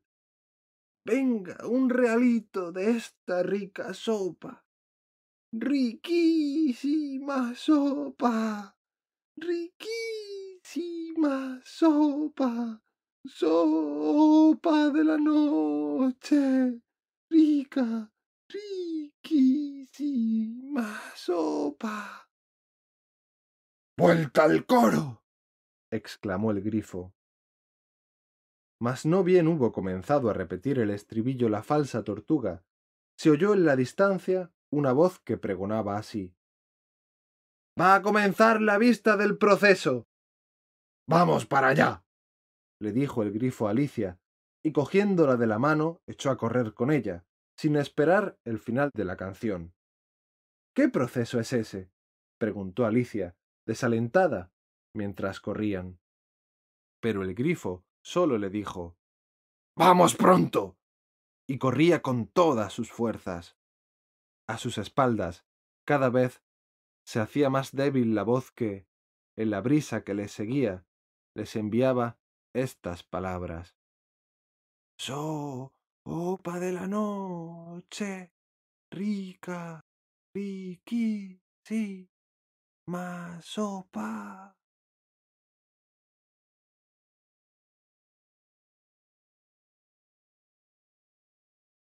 Capítulo 11 ¿Quién robó las tortas?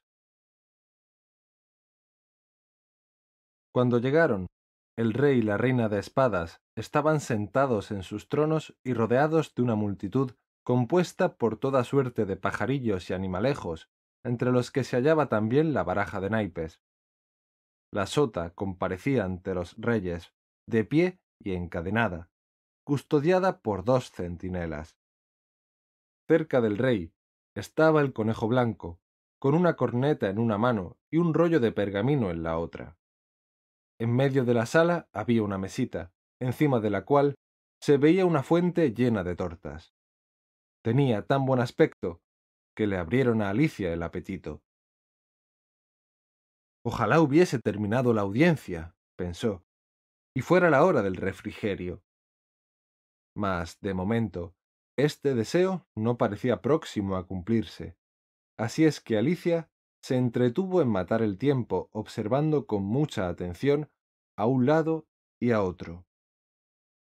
Nunca había estado Alicia en una sala de audiencia, pero sí leyó algo sobre el particular, y la complacía advertir que recordaba el nombre de casi todo lo que allí había. Aquel es el juez, se dijo, porque lleva una peluca blanca. Y daba la casualidad de que el juez era el mismo rey, que, como llevaba la corona encima de la peluca, parecía hallarse bastante incómodo. Y, en efecto, se sentía muy molesto. Este debe de ser el banquillo del acusado, siguió diciéndose Alicia. Y esas doce criaturas, pues se veía obligada a llamarles criaturas, ya que era un grupo compuesto por animalitos de la tierra y avecillas. Creo que son los jurados. Se repitió estas palabras varias veces, sintiéndose orgullosa de sus conocimientos, pues comprendía que pocas serían las niñas que a su edad estuvieran enteradas de todo aquello. Ella entendía, además, que lo mismo que jurado sería llamarlos sentenciadores. Los doce jurados estaban muy abstraídos escribiendo en unas pizarras. ¿Qué hacen? preguntó Alicia al oído del grifo, porque no han de saber qué poner antes de comenzar el juicio. Escriben su nombre, murmuró el grifo en contestación. Pues temen que se les olvide antes de terminar la sesión. Gentecilla estúpida. empezó a decir a voz en grito Alicia. Pero se tuvo que callar, porque el conejo blanco lanzó la voz de Silencio, señores y el rey se puso los lentes para ver si descubría al que estaba hablando. Alicia vio, mirando por encima de los hombros de los jurados, que éstos estaban escribiendo en sus pizarras algo como gentecilla estúpida. Es más, advirtió que una de aquellas bestezuelas no sabía cómo escribir la palabra estúpida, y tuvo que preguntárselo a su vecino. ¿Qué lío harán en las pizarras de aquí a que la vista termine? pensó Alicia.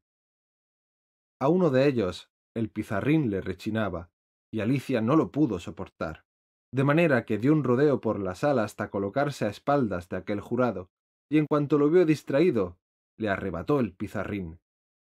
Con tanta habilidad lo hizo, que el pobrecillo jurado, que no era otro sino Guillermín Lagartija, no se dio cuenta de cómo había sido, de manera que, después de cansarse de buscar por todas partes, se tuvo que resignar a escribir con el dedo, lo cual no le servía de nada. Lea la acusación el heraldo, ordenó el rey, e inmediatamente el conejo blanco dio tres cornetazos, desenrolló el pergamino y leyó así.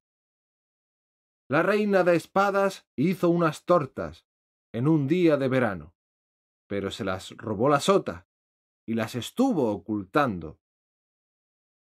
Dictad el veredicto, dijo el rey a los jurados. ¡Eh! Todavía no. Intervino presuroso el conejo. Antes hay que hacer muchas cosas. Llamad al primer testigo, dijo entonces el rey. Y el conejo blanco dio tres toques de corneta y dijo en voz alta Primer testigo.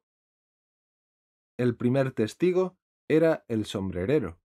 Compareció con una taza de té en una mano y en la otra una tostada con mantequilla. Pido perdón a vuestra Majestad por traer las manos ocupadas, pero es que cuando fueron por mí no había terminado de merendar.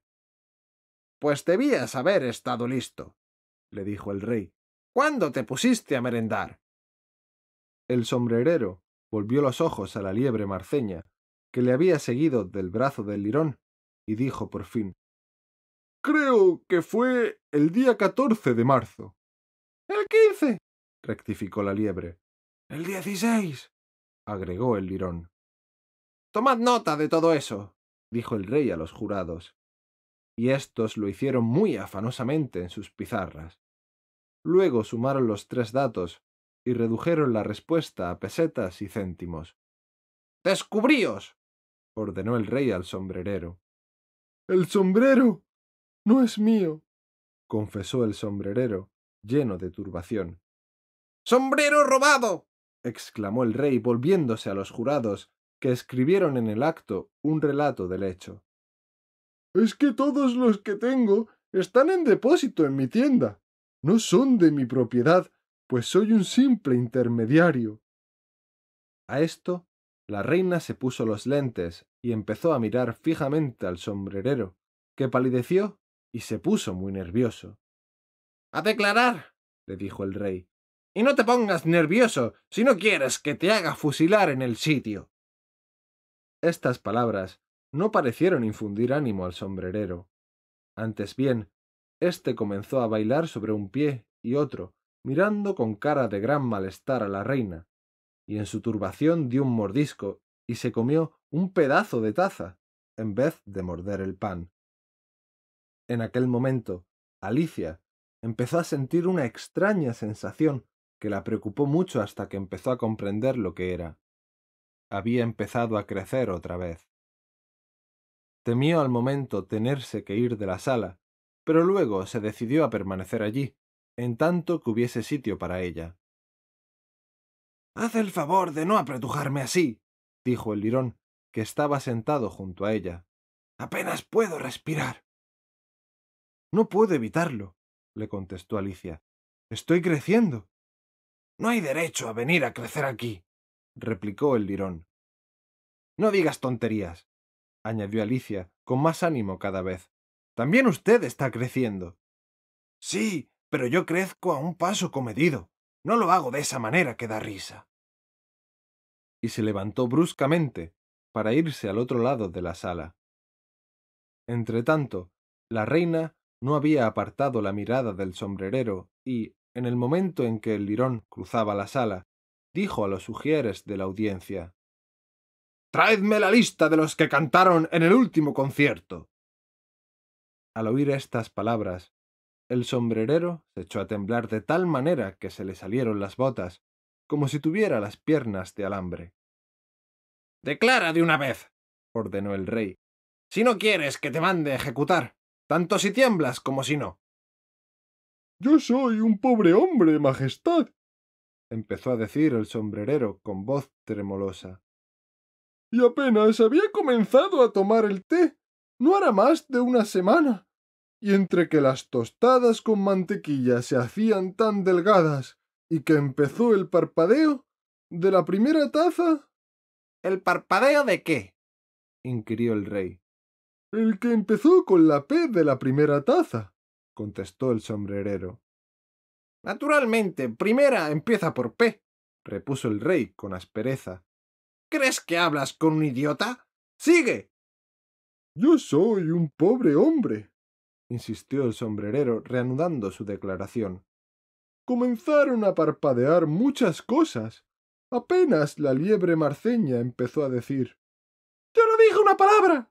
se apresuró a interrumpir la liebre. Sí, lo dijiste. Insistió el sombrerero. ¡Yo lo niego! volvió a decir la liebre marceña. Lo ha negado, observó el rey. Basta de este asunto. Pero, sea como sea, lo cierto es que el lirón dijo que.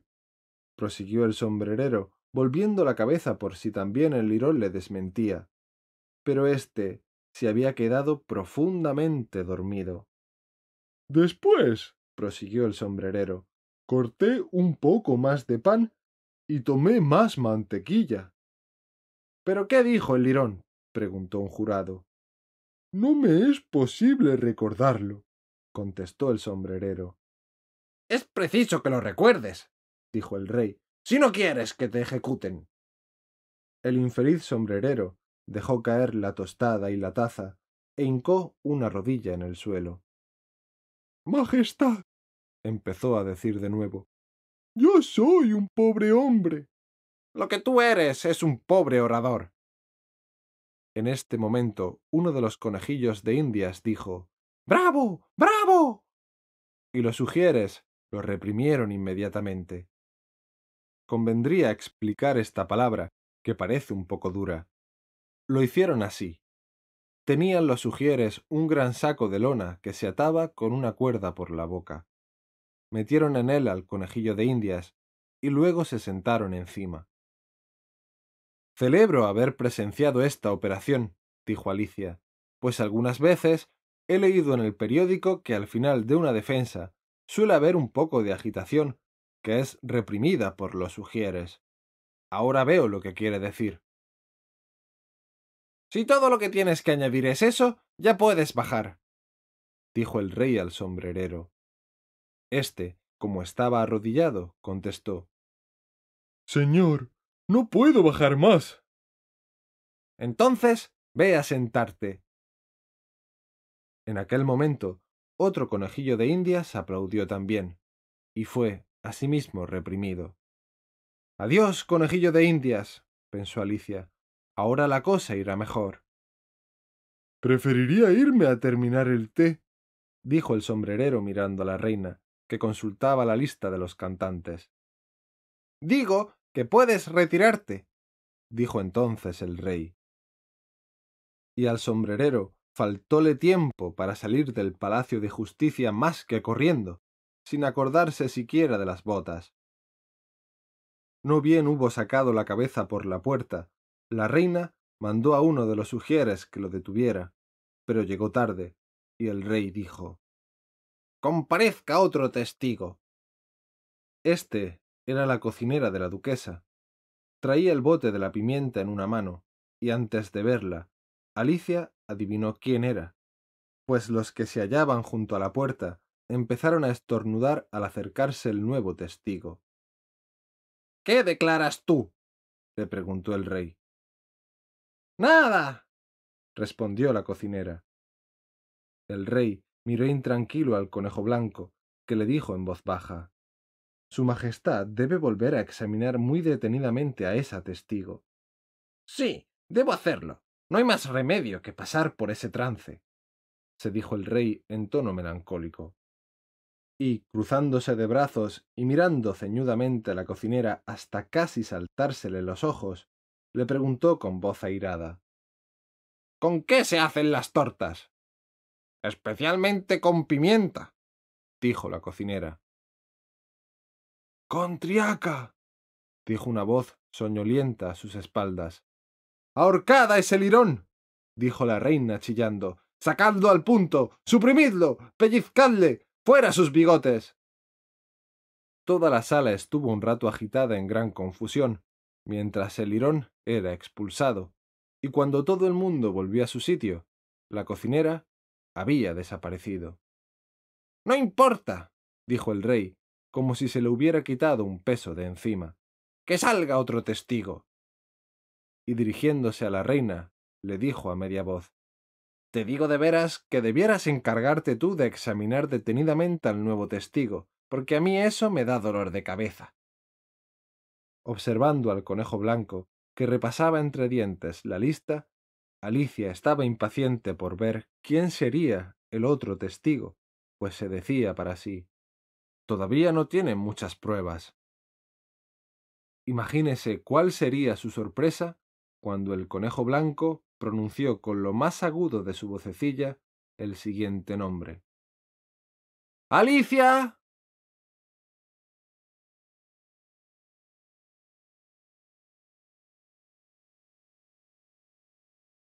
Capítulo 12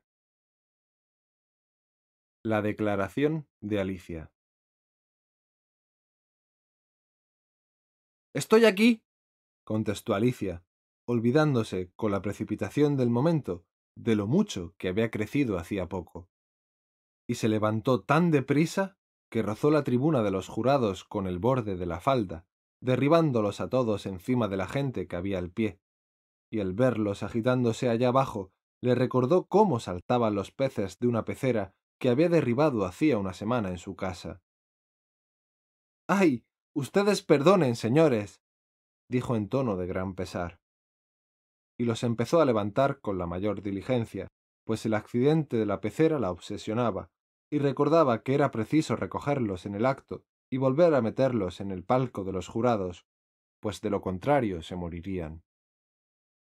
No puede continuar la vista mientras los jurados no estén cada cual en su sitio, dijo el rey con mucha gravedad.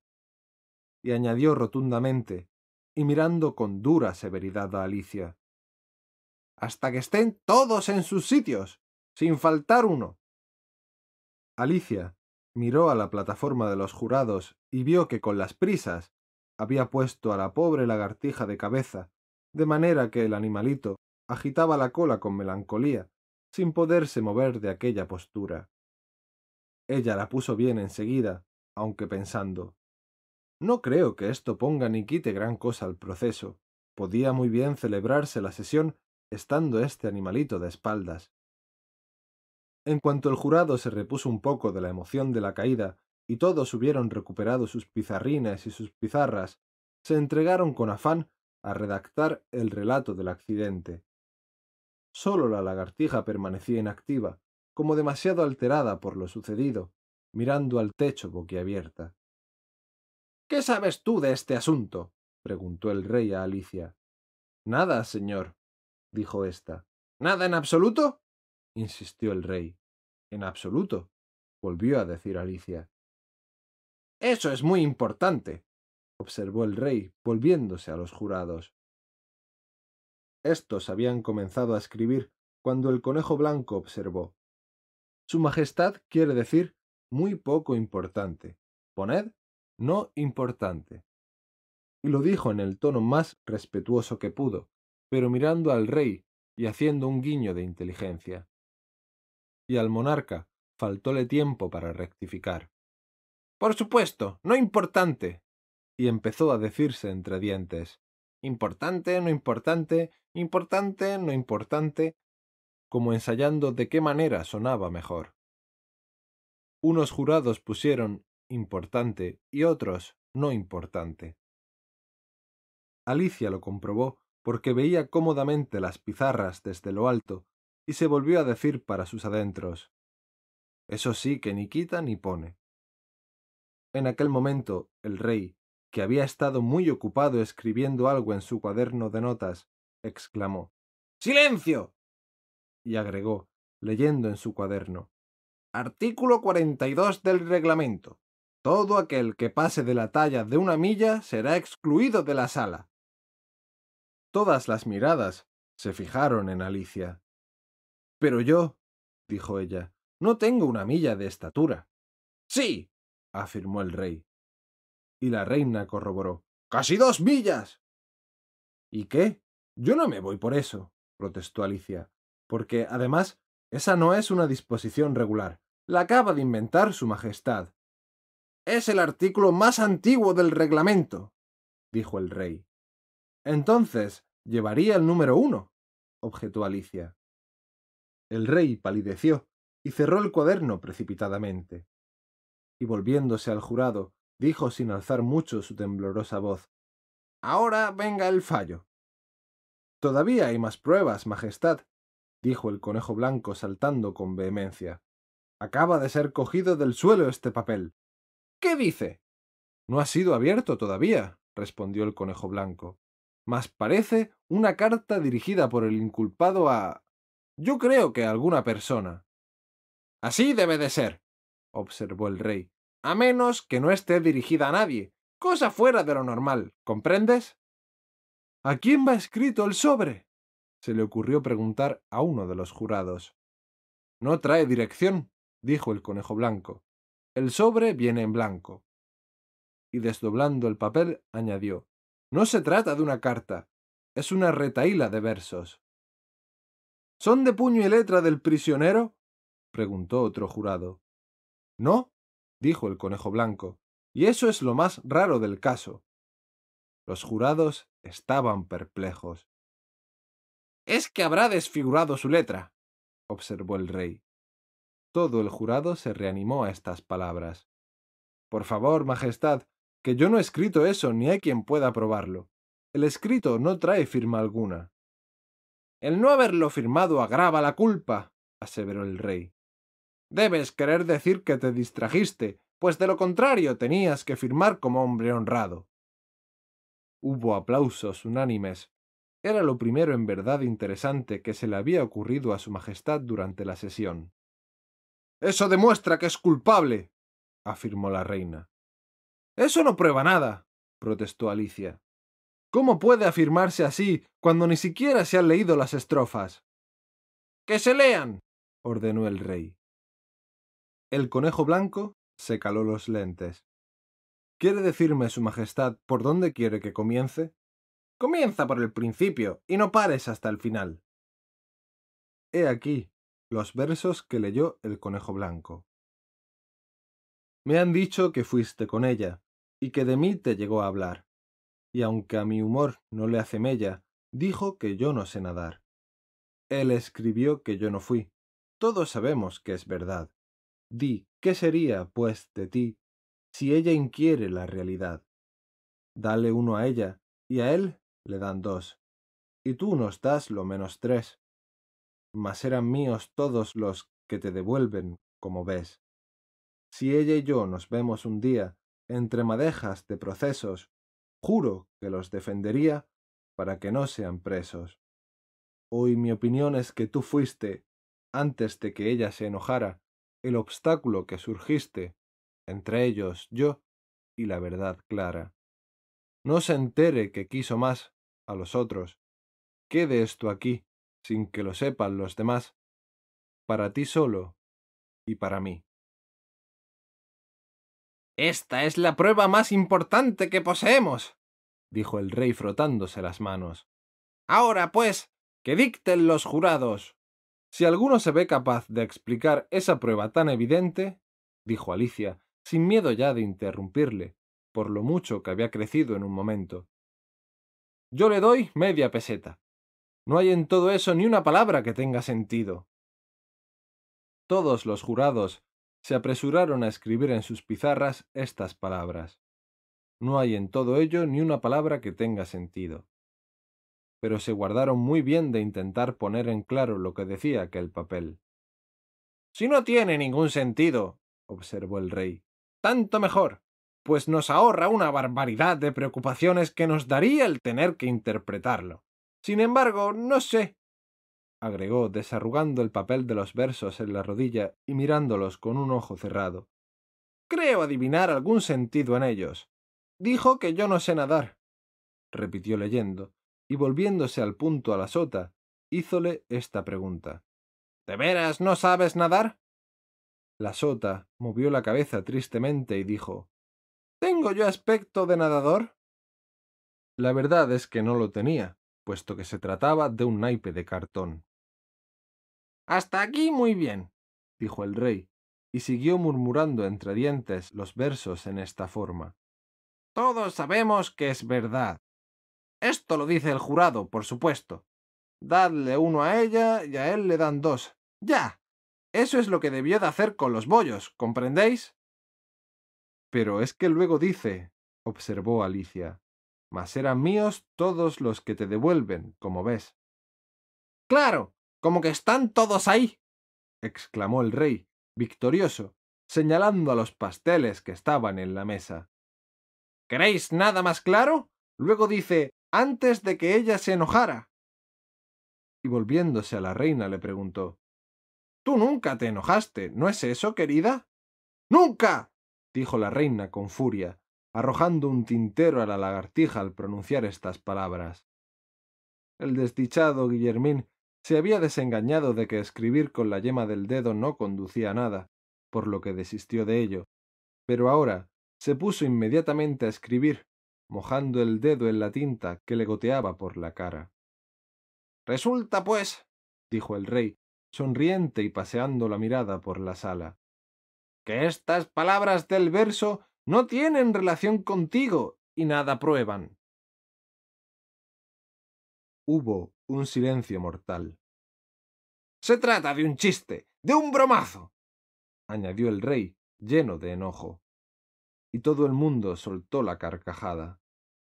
Y por vigésima vez al menos aquel día, el rey ordenó Ahora pronuncie el jurado su veredicto. No, no, clamó la reina. Lo primero las sentencias, el veredicto luego. Simplezas y tonterías exclamó Alicia alzando la voz. ¡Qué ocurrencia pedir antes la sentencia que el fallo! ¡Cállate tú! gritó la reina, encendida como la grana. No quiero, respondió Alicia. Cortadle la cabeza, ordenó la reina chillando cuanto pudo. Pero nadie se movió. ¿Quién va a haceros caso? dijo Alicia, que había vuelto a su estatura normal. ¿No comprende vuestra Majestad que toda la corte no es más que un juego de naipes? Y en aquel momento todas las cartas de la baraja se levantaron por el aire formando un torbellino alrededor de ella. Alicia lanzó un leve grito, mezcla de miedo y de enojo, y al esforzarse por apartarlas, se encontró con que se hallaba sentada en el margen del campo, junto a su hermana, con la cabeza apoyada en su falda, mientras ésta iba apartando cuidadosamente algunas hojas secas que, desprendidas de las ramas, le habían caído en la cara. Alicia, nena, despierta ya. ¿Cuánto has dormido? le dijo su hermana.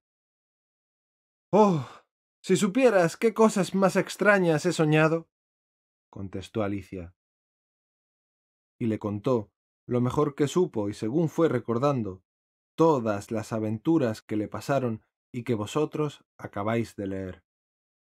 Así que hubo terminado, su hermana le dio un beso y le dijo Ha sido un sueño verdaderamente extraño, nena, pero ¿sabes que es tarde y que no has merendado aún? Alicia se levantó y se fue corriendo a su casa, sin poder apartar el pensamiento de las cosas extraordinarias que había visto en sueños. Ahora bien, su hermana permaneció inmóvil, apoyada la cabeza en la palma de la mano, la mirada perdida en el cielo del ocaso, y el pensamiento siguiendo a la pequeña a través de sus maravillosas aventuras, hasta que también ella empezó a soñar a su manera, y he aquí lo que vio. Empezó por imaginarse a su hermanita Alicia. Parecíale tenerla todavía a su lado, poniéndole las manos en las rodillas y mirándola con sus ojuelos claros y anhelantes. Oía todos los matices de su voz y observaba el delicado movimiento con que su cabecita echaba hacia atrás los bucles que le ponían con insistencia hebras en los ojos. Y luego, en la calma de la tarde, empezó a oír o a fingirse que percibía los rumores que producían los extraños seres del sueño de Alicia y que llenaban de vida el campo. La hierba alta temblaba cuando el conejo blanco saltaba a sus pies. El ratoncillo medroso cruzaba, salpicando, un charco cercano. Sonaba el tintineo de las tazas y las cucharillas de la liebre marceña, que continuaba con sus amigos en una inacabable merienda. La penetrante vocecilla de la reina seguía repartiendo penas de muerte entre los infelices invitados. Otra vez el niño cerdito estornudaba en la falda de la duquesa, mientras los platos y las fuentes se estrellaban alrededor. Todavía el chillido del grifo, el chirrido del pizarrín de la lagartija y el incidente de la represión de los conejillos de Indias eran visiones y rumores que poblaban el aire, a lo que se mezclaba el distante sollozar de la falsa tortuga. De esta manera, la hermana de Alicia cerró los ojos y se creyó casi en el país de las maravillas, aunque sabía que no tenía que hacer más que abrir los párpados para encontrarse otra vez la triste realidad. La hierba sólo se ondularía al paso del viento y el charco sólo se agitaría al temblor de las cañas. El tintineo del servicio de té se trocaría por el tintineo de las esquilas y los gritos de la reina en las voces que daba un zagal.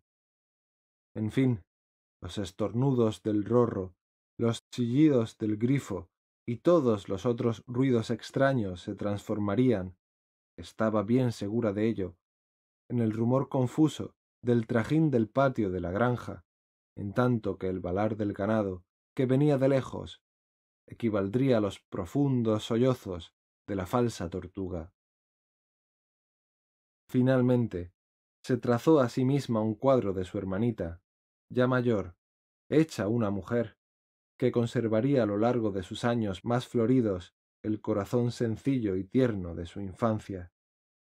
La veía rodeada de otros niños que la contemplaban con ojillos claros y anhelantes, mientras ella les contaba unas raras historias, acaso la de sus aventuras de antaño en el país de las maravillas, y observaba cómo sentía las mismas penas ingenuas y los mismos entusiasmos sencillos que ellos, complacida en abocar de esta suerte los días felices de las vacaciones estivales.